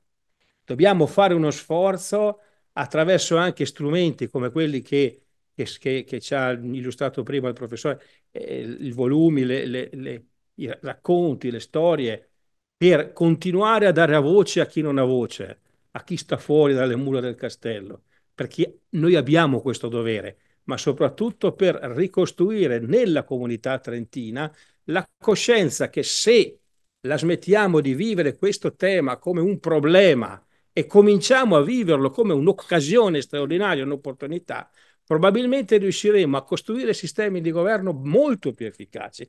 D'altra parte, glielo stanno un po' dicendo tutti, gliel'ha detto la Confindustria qualche settimana fa, glielo dice la Chiesa, glielo dicono le associazioni, speriamo che prima o poi Forza Martellare ci si accorga che in realtà il problema è questo, ma questo vale per il Trentino, vale per il nostro paese, vale anche per l'Europa, che drammaticamente sta prendendo una piega e una strada che è il contrario, ragionando su esternalizzazione dei confini, su questa idea di portare negli stati satellite i CPR. Eh, l'altro giorno mi veniva una battuta, posso farla?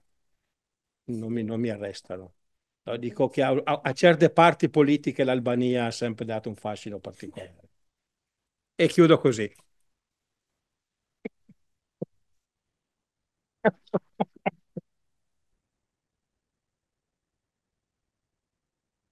Grazie, grazie a Stefano Greif. E, ha ragione Stefano, eh, il tema è quello della comunità.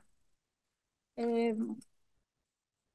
se solo le comunità riuscissero a recuperare un protagonismo e a mostrare anche la capacità di vedere oltre eh, le barriere, i limiti, le falsità, anche perché davvero non, credo che non ci sia un altro tema come quello delle immigrazioni su cui si scatena la fantasia dei falsari, con, con una ricchezza di, di, capacità inventiva davvero degna di miglior causa. Eh, però ecco, Stefano Greif ci ha dato l'assist per completare questa, eh, questa cavalcata ehm, attraverso la testimonianza di Chiara Gobber dell'associazione Trame e Terra che è tra me e te. Mm? Ci sono delle maiuscole collocate lì al centro una bellissima associazione che viene dal Primiero e quindi io l'ho sempre definita la Repubblica Autonoma del Primiero perché sta là un po' distante dal centro e, Chiara Gobber condividerà con noi gli effetti delle migrazioni sui territori di accoglienza. Eh, questo è il tema di, eh, su cui ha accettato di riflettere e il, il suo compito è proprio quello di dirci se la comunità trentina ha ancora dà ancora segnali di vita ed è ancora in salute, almeno in alcune sue parti, perché poi insomma si può sempre pensare che gli esempi virtuosi, se conosciuti e se diffusi, possano essere attrattivi. Grazie, Chiara. Allora, eh, ringrazio innanzitutto per la presentazione e spero non siano state create troppe aspettative. e, e, ringrazio moltissimo per l'invito che ci ha accolti, come dire, eh, tanto, tanto, con tanto piacere, che abbiamo accolto con tanto piacere e anche tanto stupore, perché appunto ehm, siamo una realtà piccola. La mia, l'associazione per la quale lavoro eh, è una realtà piccola, Primiero lo è eh, l'incidenza dei migranti, lo è, la popolazione lo è, è tutto piccolo. E, e però forse, prima riflettevo eh, parlando con, con, Riccardo Santoni del forum, forse dal piccolo alle volte che si riesce a lavorare anche in una maniera diversa. Sicuramente siamo stati da un certo punto di vista, pur nel nostro essere, noi ripetiamo, no? continuiamo a dire, siamo periferici, la parola periferico rin, è ridondante nel, nel raccontare la realtà di Primiero da tanti punti di vista. E mm, abbiamo potuto lavorare con il piccolo, lavorare con il piccolo significa però anche poter sperimentare delle pratiche che poi chissà, non so se sono delle buone pratiche, però sono delle pratiche che abbiamo tentato di mettere in campo. L'associazione è nata nel 2008 ehm, è un'associazione intrinsecamente interculturale, nel senso siamo circa una ventina di soci attualmente, eh, migranti, italiani, eh, con provenienze molto diverse. Io sono l'unica persona che in questo momento lavora per l'associazione. Ehm, perché coordiniamo per la comunità di Valle di Primiero alcune attività e alcune iniziative collegate al tema dell'emigrazione, dell'intercultura, dell'accoglienza e del dialogo. C'è una parte quindi operativa lavorativa che portiamo avanti ed una parte prettamente associativa, quindi di promozione culturale, di relazione col territorio. Questa slide forse mh, mm, sintetizza tutto. Cioè, perché? Perché siamo nati? Perché tutto quello che vi andrò a raccontare? Perché c'è Trento e c'è la comunità di Primiero. Forse in linea d'aria la distanza non è neanche epocale, eh, certo è che le strade per raggiungerla, insomma, ci vuole un'ora e mezza in macchina, un'ora e quaranta, e in autobus con un mezzo pubblico diventano tre ore, tre ore e mezza, un tempo veramente lungo.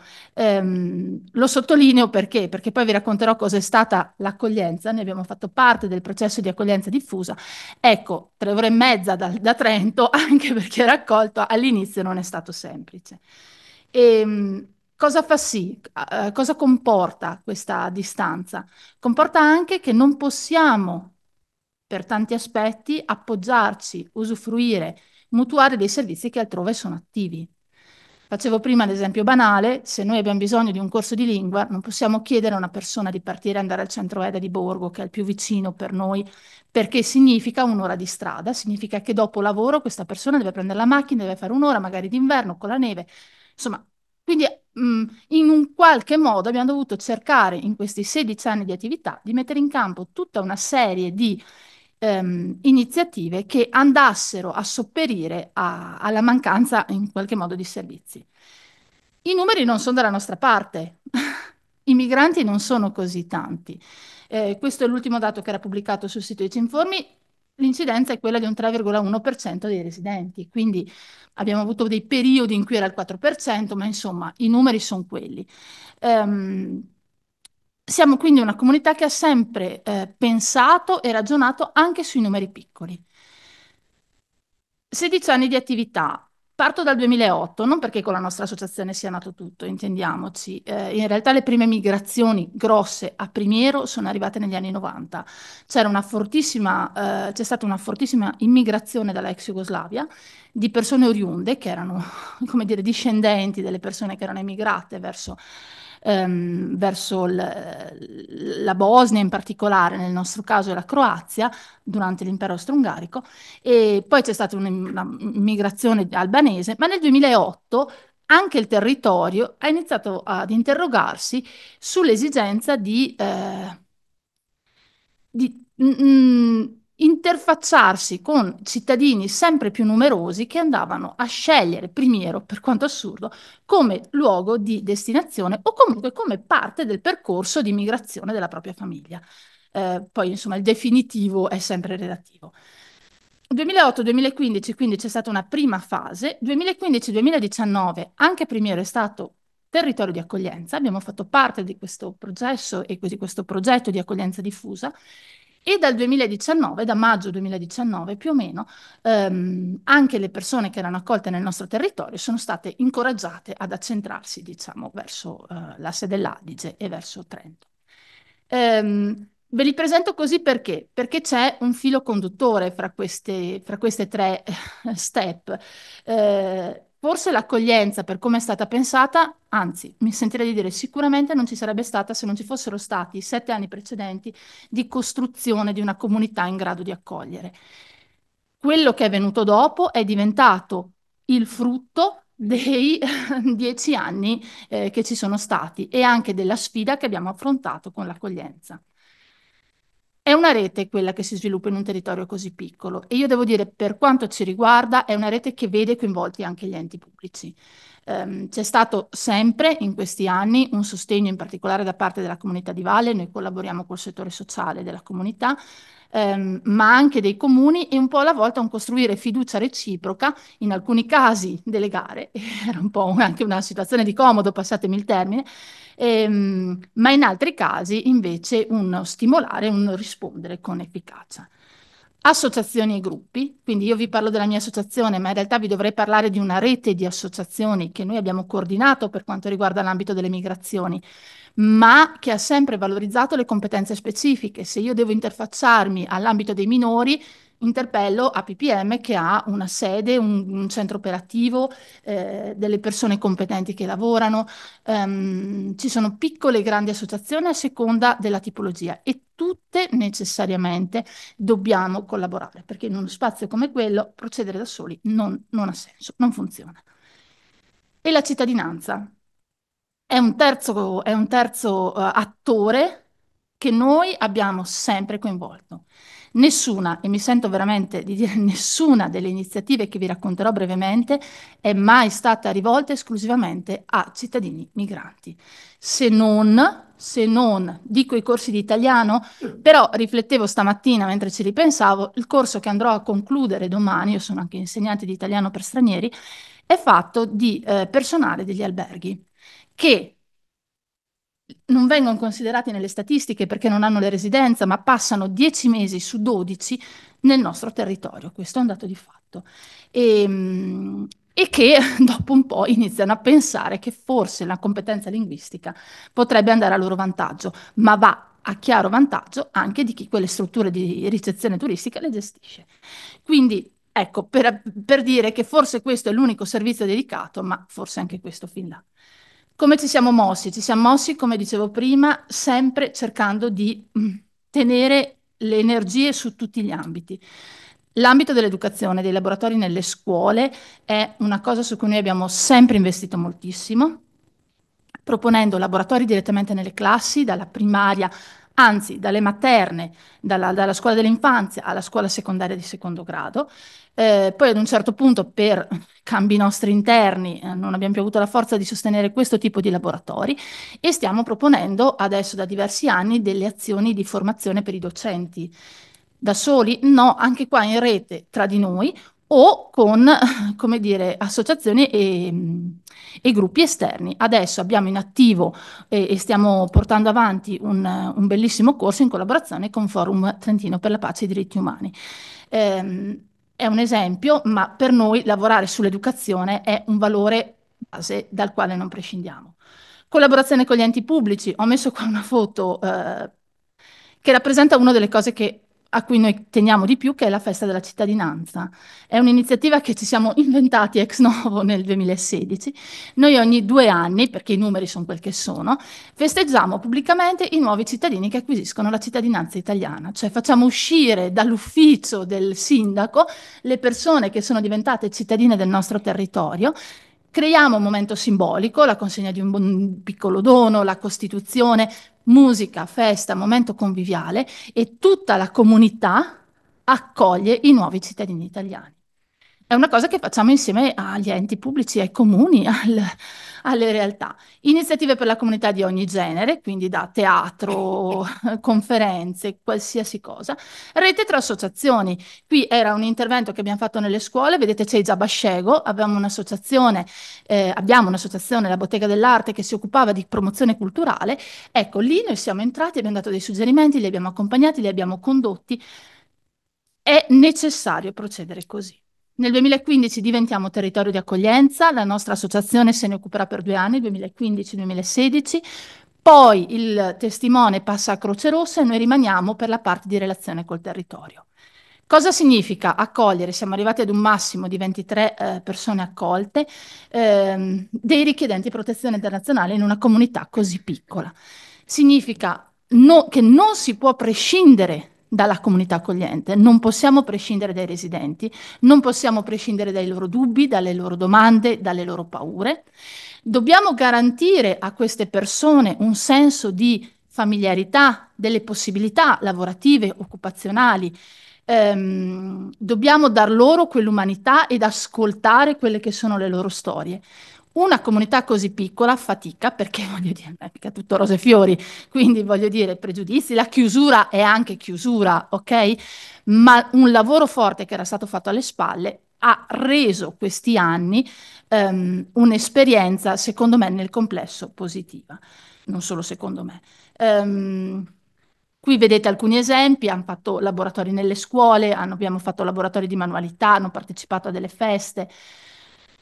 Vi ho portato due esempi delle cose che noi abbiamo fatto per l'accoglienza. La prima è questa, FAC profughi a primiero. Consapevoli dell'uso malfatto della parola profugo, ma a noi non interessava in quel momento dare una lezione di, eh, di italiano, ma avevamo bisogno di parlare alle persone residenti che continuavano a farci sempre le stesse domande.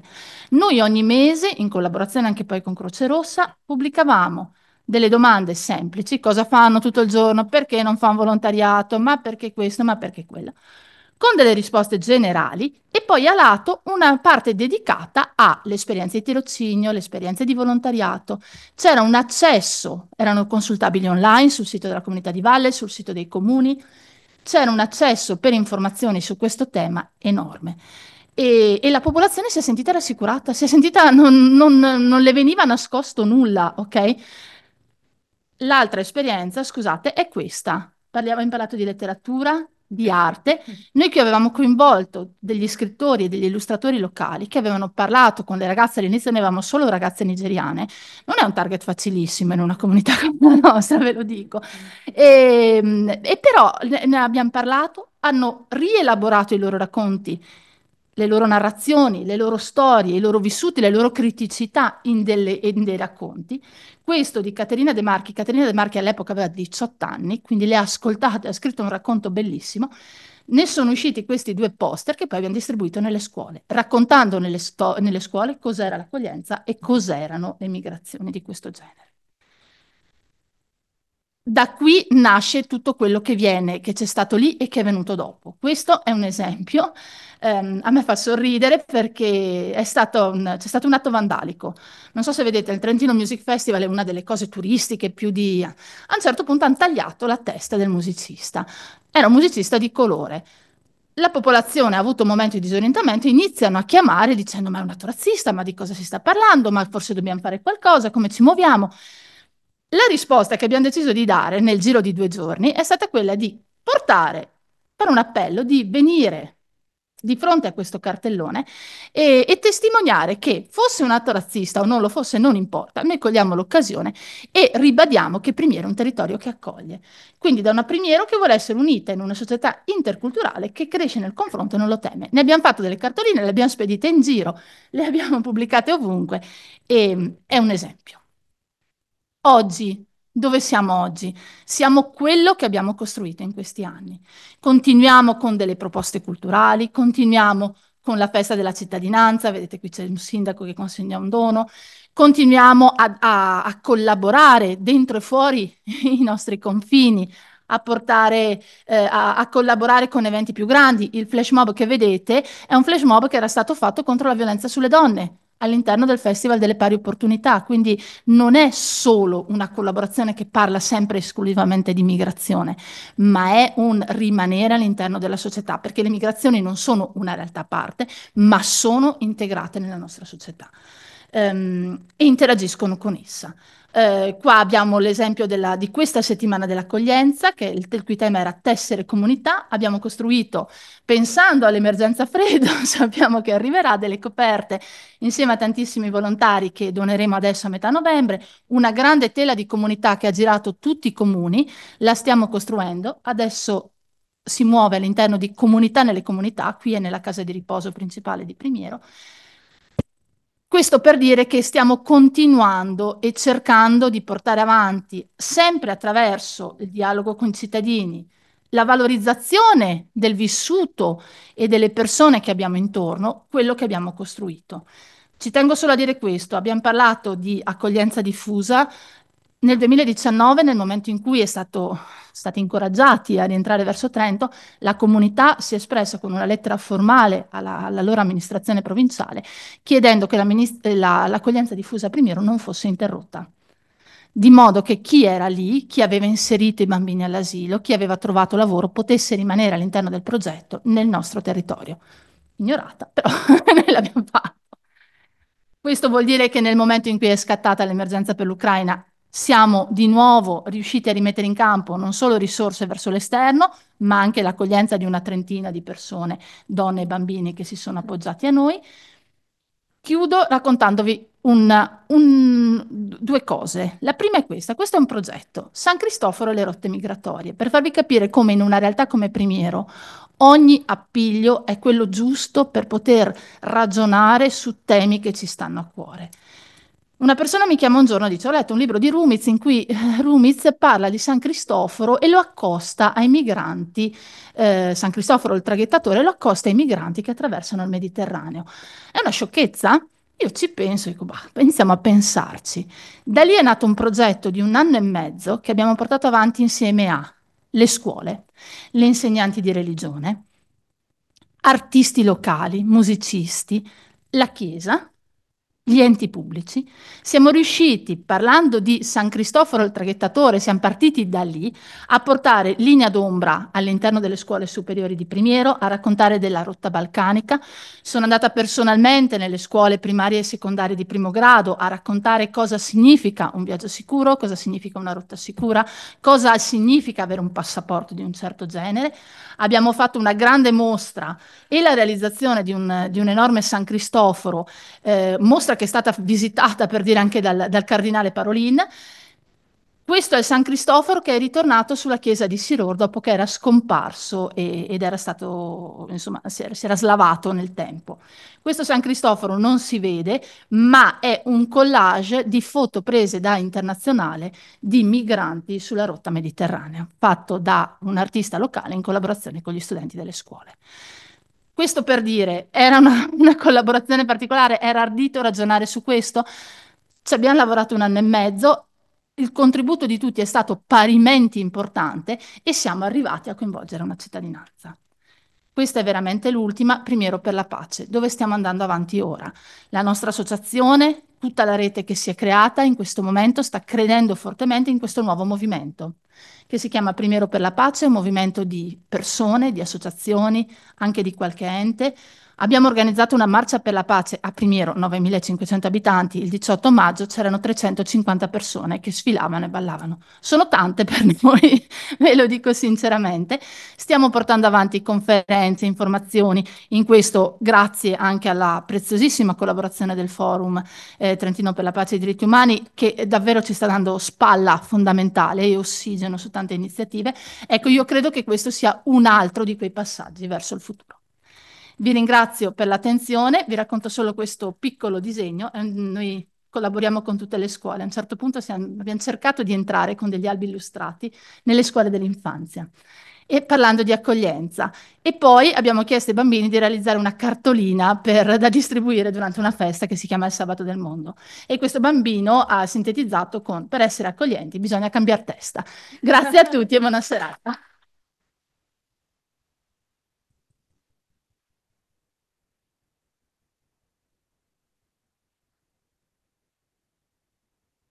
Potremmo esordire dicendo piccolo e bello, è bellissimo anzi, però davvero grazie a Chiara Gobber perché è riuscita, credo, a rasserenarci e a darci quel tocco di speranza che consente di acquistare nuove energie, nel senso che il panorama che abbiamo di fronte, come ci diceva anche Stefano è un panorama fosco, ma ci sono possibilità, ci sono strumenti, ci sono realtà in cui quella famosa logica della città infernale è già sconfitta. Quindi eh, io credo che il tuo intervento sia stato assolutamente prezioso e grazie a chi ha individuato nella vostra esperienza la voce che potesse chiudere questo giro di tavolo. Quindi grazie davvero.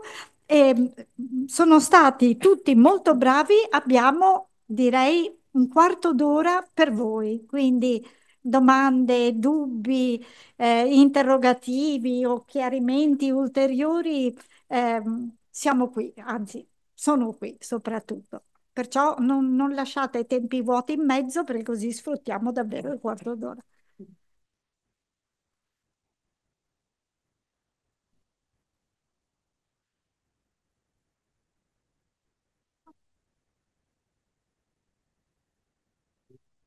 Sì, beh, vi ringrazio insomma, per la presentazione annuale del, del dossier eh, al quale si partecipa sempre volentieri per fare il punto insomma, su qual è eh, il, il, trend rispetto al tema delle migrazioni che non è appunto solo uh, stati, dal punto di vista della ricerca quantitativa ma appunto come abbiamo visto anche di quella qualitativa ci riporta un po' le storie dei migranti.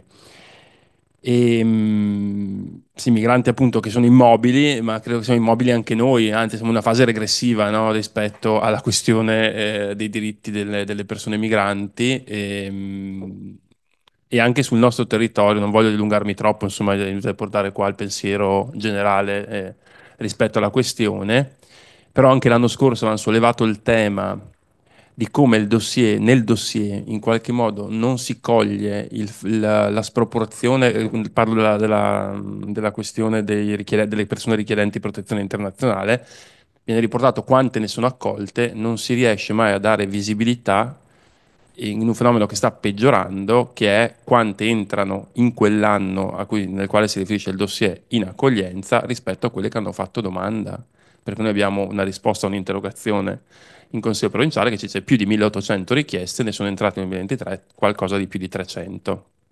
Quindi voglio dire, c'è una sproporzione enorme e vuol dire appunto, come diceva prima Stefano Greif, persone sul territorio che non si vedono accolte quando avrebbero diritto ad essere accolte.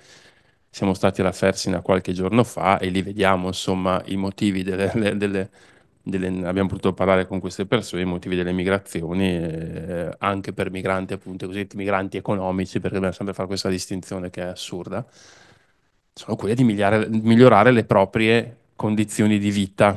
E, e, se lasciamo le persone per strada, quello, il nuovo fenomeno che stiamo generando con questa non accoglienza è quello di fratturare persone già fratturate. Quindi stiamo facendo dei danni enormi alla vita delle persone. Chiudo dicendo solo una cosa che è più un suggerimento che, eh, che altro, mi permetto. Perché ogni volta che parliamo di migrazione, noi, noi, noi, non faremo mai un convegno sulle pari opportunità con solo uomini. Abbiamo visto parlare eh, di aborto in tv da Vespa, erano solo uomini, ma succede anche questo. Non si dovrebbe fare. Io mi domando sempre, noi continuiamo a parlare di a, di, di, migranti e non diamo mai la parola alle persone migranti, ma non è qua, eh, è ovunque, specie quando lo facciamo a livello più istituzionale, a volte quando lo facciamo con le associazioni diamo più visibilità e parola, ma quelle storie di cui ci parlava Paolo Boccagni sarebbe interessante che ce le portassero anche in un convegno di questo tipo le voci delle persone, che siano persone che le hanno vissute, che siano persone con background migratorio, che hanno studiato il fenomeno anche, cioè non sempre devono essere persone per forza italiane, doc, a raccontarci le storie dei migranti. E quindi secondo me un'attenzione che potremmo cominciare a sviluppare e avere è quello di coinvolgere direttamente le persone migranti e non cioè, dare parola alle persone migranti e non parlare sempre per loro. Grazie. Grazie, approfitto, eh, grazie per questa sottolineatura eh, che hai fatto eh, Paolo. Allora posso così fare un, una, un piccolo mea culpa e no, no, e, e però nel contempo dare una buona notizia. Il 7, così intanto faccio uno spot tipo pubblicità progresso. Il 7 e l'8 novembre qui, sempre penso proprio in questa sala, se no, no eh, ah no, no, siamo a sociologia, chiedo scusa, di là, dall'altra parte della strada, ma ormai avete capito che grazie al master diritto e politiche delle migrazioni siamo diventati un'unica famiglia. Avremo un convegno, Il popolo del futuro, sul tema della cittadinanza, nel quale abbiamo pensando proprio a questa cosa, ma come parliamo di cittadini, nuovi cittadini, generazioni di... Abbiamo diversi eh, colleghi che partecipano al convegno, da Marva Mahmoud del comune di Reggio Emilia, abbiamo Abdullah Embodi che i miei studenti del corso di diritto delle migrazioni con, hanno conosciuto, che è un avvocato del Foro di Milano di origine senegalese, è stato il primo avvocato di colore iscritto all'albo, e Simo Ahmed Kabur, che è consigliere comunale ma anche insegnante e attivista. Ehm, è tra i promotori del referendum sulla cittadinanza che si sta. Ecco, abbiamo cercato in quel caso proprio pensando che è così, che abbiamo bisogno di avere le voci, perché sennò siamo noi sempre che parliamo degli altri, abbiamo fatto il nostro piccolo, timido tentativo di eh, ascoltarci con, con attenzione. Ecco, solo questo volevo dire. C'erano altre domande, interventi?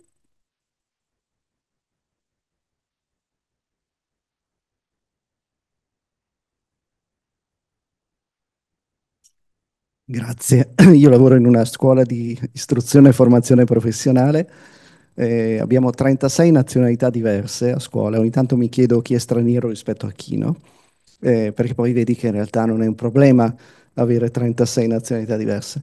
Eh, stavamo ragionando a scuola anche di questi tempi, sarà l'economia che ci porterà a rispettare i diritti? Cioè paradossalmente sarà il fabbisogno di lavoratori che eh, farà mettere da parte tutte le considerazioni di carattere ideologico o giuridico. Eh, da appassionato di diritto internazionale un po' mi fa tristezza questo, no? Eh, però il problema si risolverà, fra virgolette, o, o diventerà meno eh, drammatico eh, per una considerazione di carattere economico, o forse è questa la speranza, in qualche modo, che qui stia la chiave per cambiare la testa, come giustamente si diceva prima? Grazie.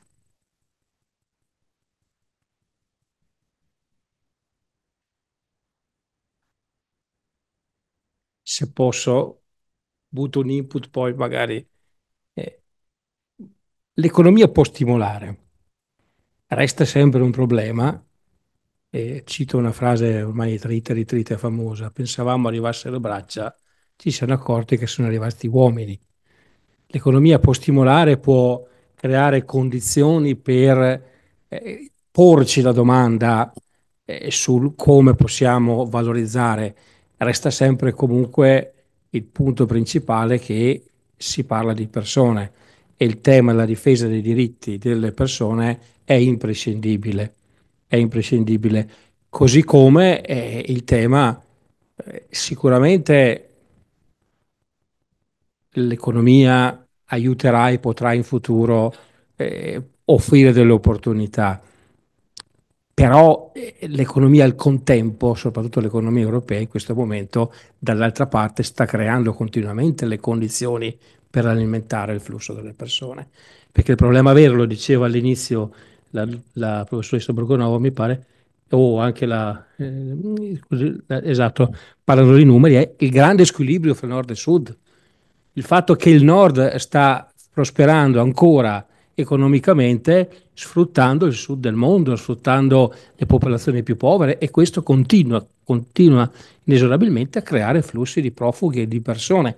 Lo stesso effetto drammatico dei cambiamenti climatici deriva dal fatto che le nostre economie internazionali scrivono gli accordi e poi cominciano pian pianino a demolirli, a depotenziarli in ragione di interessi economici. Allora o partiamo da quest'idea L'economia certo è fondamentale rispetto a questo, ma se riesci a fare un ragionamento a 360 gradi, se riesci a pensare che il rapporto con l'Africa e col Sud non può essere solo quello di prendo e sfrutto. Allora eh, un carissimo amico, eh, Vincenzo Passerini, presentando il suo libro, in un paese della Val di Non ha detto, e mi sono scritto questa frase, l'articolo 1 del piano Mattei dovrebbe essere il settimo comandamento, non rubare. Veloce, velocemente, eh, grazie per quest'ultima osservazione. L'economia aiuta, può eh, aiutare da un sacco di punti di vista quando è in crescita. Eh, tipicamente l'imprenditore medio è un pochino più eh, aperto del decisore politico medio, se non altro per gli interessi strumentali e eh, pragmatici che ha, per cui è di per sé un volano di maggiore attrattività, inclusione, cioè per tante persone immigrate il primo strumento di autonomia, integrazione, ricerca di una dignità, di una rispettabilità per sé, sta nel lavoro che si trova e che si fa e che si cerca di fare meglio che si può. Dopodiché eh, questo è vero, è, è importante, ma non, eh, non, è tutto, non solo ovvia ovviamente perché cercavamo braccia, sono arrivate persone per cui tutto quello ha, che ha a che fare con l'economia, come per chiunque di noi, è per fortuna solo una parte della nostra vita e non tutto, ma anche perché a volte, alcune volte, soprattutto con persone con storie di violenza e di immigrazione forzata alle spalle, può capitare di trovarsi davanti a persone con patrimoni di salute fisica e psicologica fortemente eh, promessa. E allora che si, che si, fa? Li si caccia via perché economicamente non avranno mai il valore che si vorrebbe che? Cioè è un passaggio eh, importante per il riconoscimento, ma è importante anche non spingerlo troppo sul piano dei diritti, perché altrimenti chiunque per i motivi, per le sfortune della vita non rientra in questa logica, è eh, automaticamente eh, ai margini.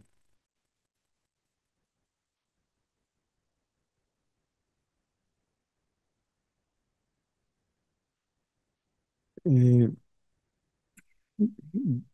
come GRIS abbiamo una, una convenzione con l'azienda sanitaria e gest gestiamo e collaboriamo con l'azienda all'assistenza sanitaria agli chiedenti di protezione internazionale, persone con STP e persone anche, diciamo, sulla strada, ecco. E tramite un ambulatorio al centro servizi sanitari e un punto d'ascolto presso il punto d'incontro. E eh, solo focalizzo alcune cose. Sulla carta e in via teorica la legislazione italiana è molto inclusiva anche dal punto di vista sanitario e difende la salute delle persone, di tutte le persone, di tutti gli individui. Poi dalla teoria alla pratica è difficile, è difficile fruire di questo di diritto per vari ostacoli amministrativi, per, per, la conoscenza. Noi troviamo una grande difficoltà anche di orientamento delle persone, sono persone disorientate che non sanno come, come muoversi e che non trovano gli aiuti necessari per poter fruire del diritto di cui avrebbero, avrebbero teoricamente bisogno.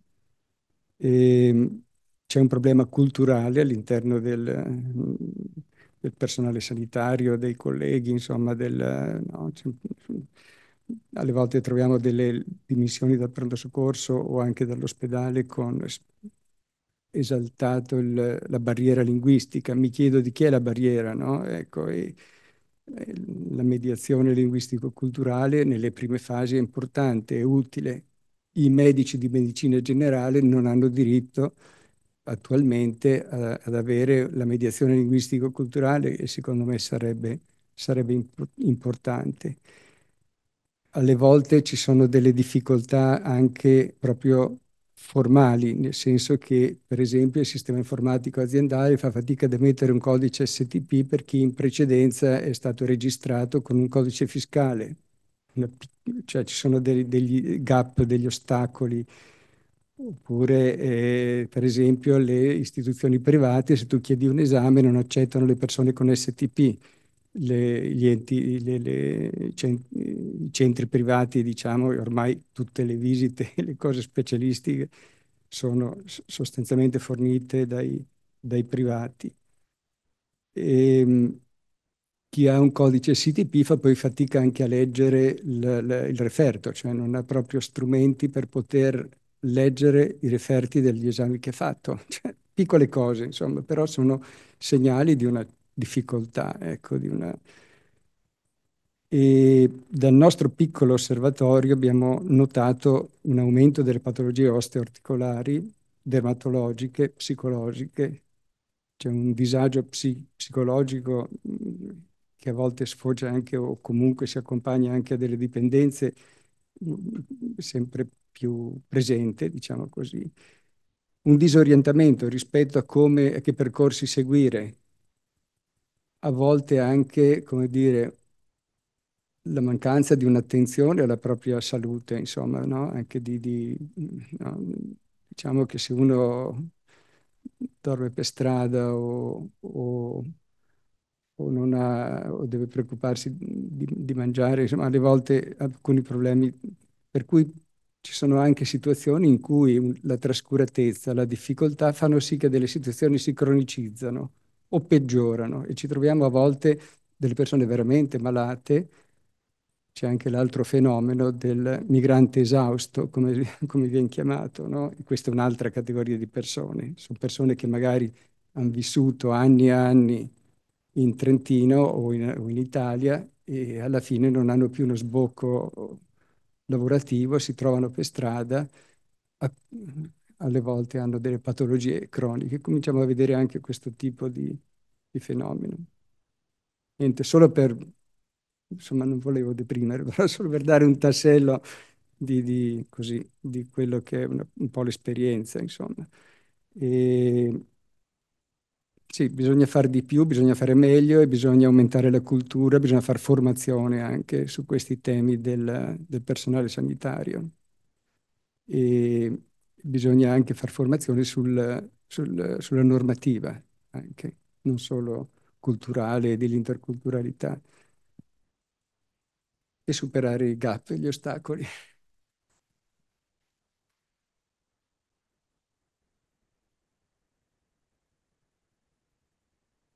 Eh, sì, buonasera. Solo un'osservazione che mi pare importante, che almeno è una cosa su cui una riflessione da, da tempo.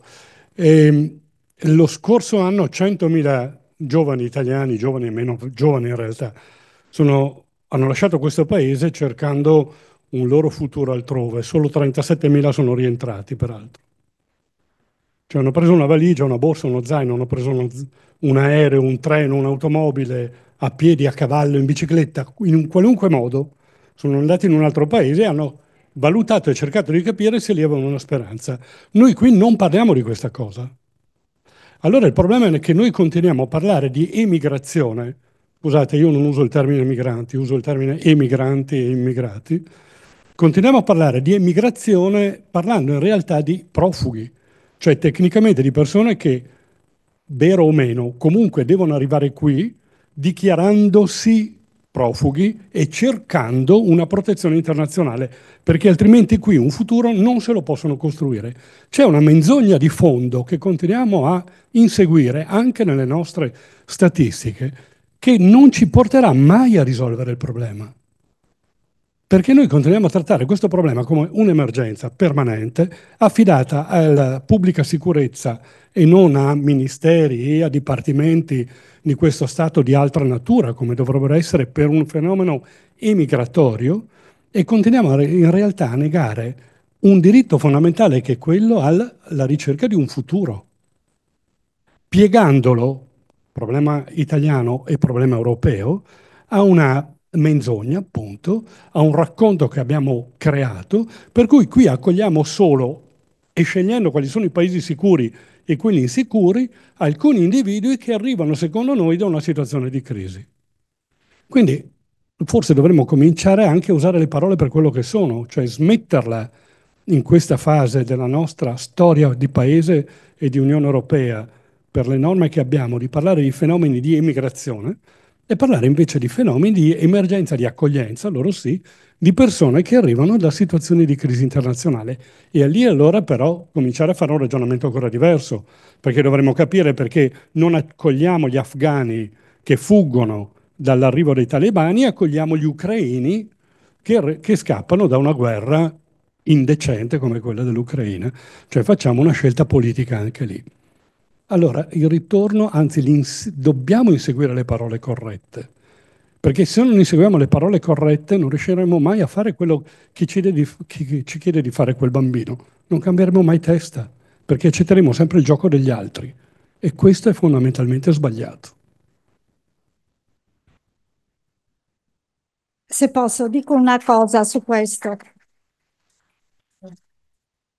A proposito di menzogne, allora, se qualcuno di voi eh, ricorda in passato, ricorda gli anni tra l'86 e il 90, 86 la prima legge italiana in materia di extracomunitari, eh, si chiamavano così allora, giustamente perché erano cittadini non comunitari.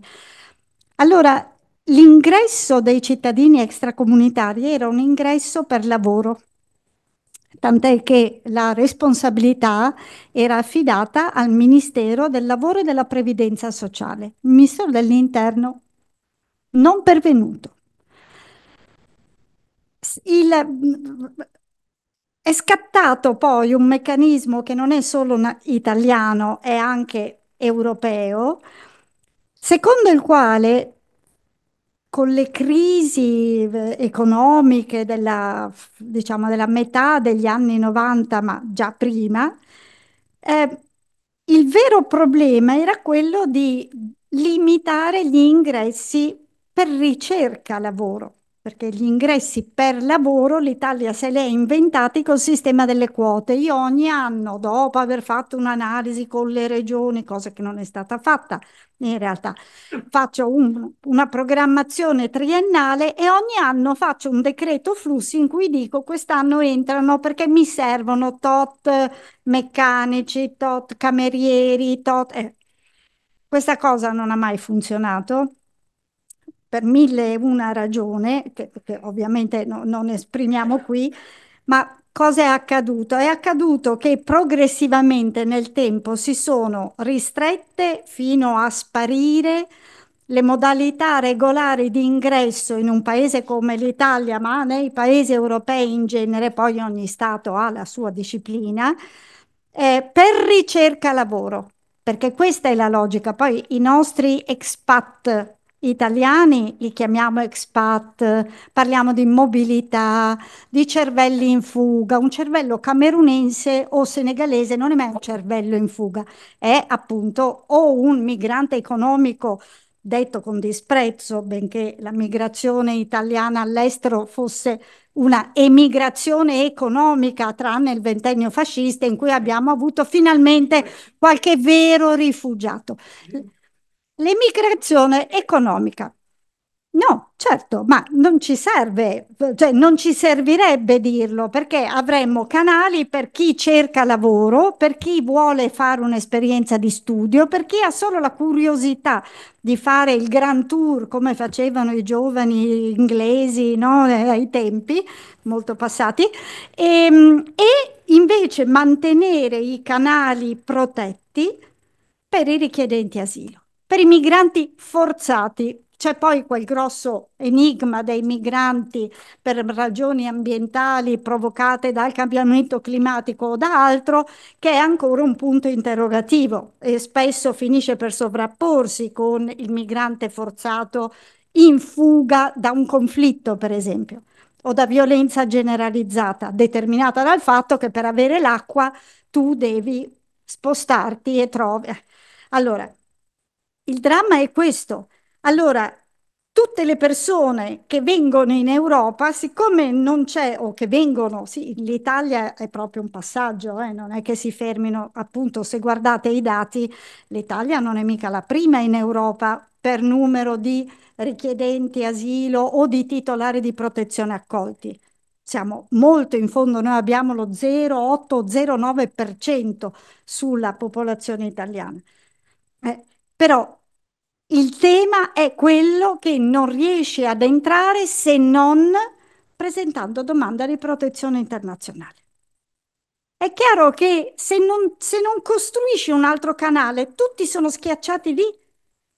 Ma santo, cioè, lei parlava dell'economia, ma io mi chiedo, ma se noi fossimo egoisticamente, egoisticamente un pochino furbetti, diremmo, ma scusa, sta gente che ha 5.000 dollari da dare allo scaffista, al trafficante, perché quei 5.000 dollari non li usiamo per un biglietto aereo, una residenza per tot tempo, un visto per ricerca lavoro, un permesso di soggiorno per ricerca lavoro, hai un anno di tempo per guardarti in giro, ti faccio anche. Co- spenderemmo molto meno.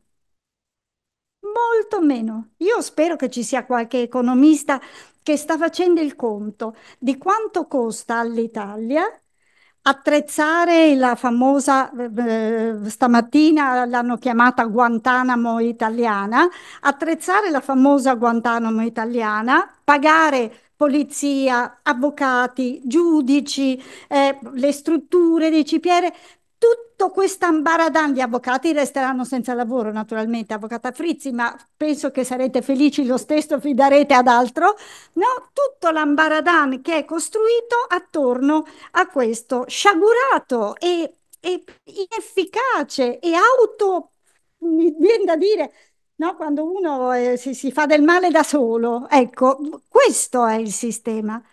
Però la domanda è, ma se noi che siamo persone di normale buonsenso pensiamo che senza troppo preoccuparci delle persone oggetto di questa discussione, proprio solo da un punto di vista egoistico, pensiamo che ci sarebbero strade più efficaci, ma siamo sicuri che nei governi che si sono succeduti nessuno l'abbia pensato? Allora, qual è la vera finalità? C'è un passaggio molto interessante, poi basta, mi taccio.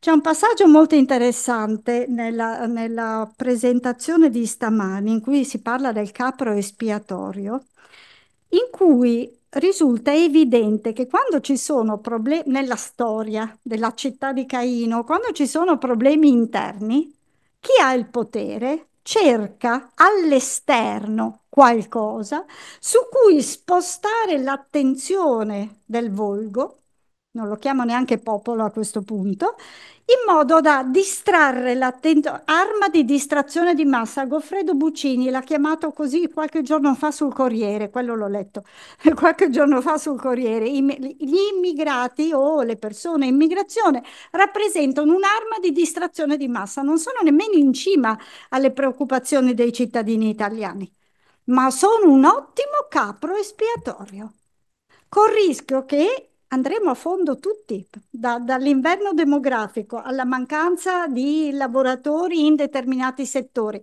Probabilmente, e qui io tendo a pensare che se gli imprenditori Confindustria, non solo in Trentino, ma a livello nazionale, iniziassero a fare la voce grossa, però ricordate l'accordo Italia-Tunisia?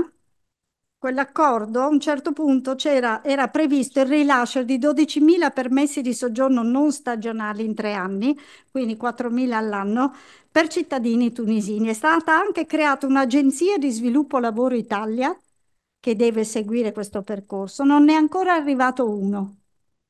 E non si capisce neanche come faranno ad arrivare, gli faranno formazione in Tunisia, arrivano qui con i barconi e poi li regolarizzano. Siamo non so, dilettanti allo sbaraglio a voler essere gentili. Ecco, questo è il mio pensiero.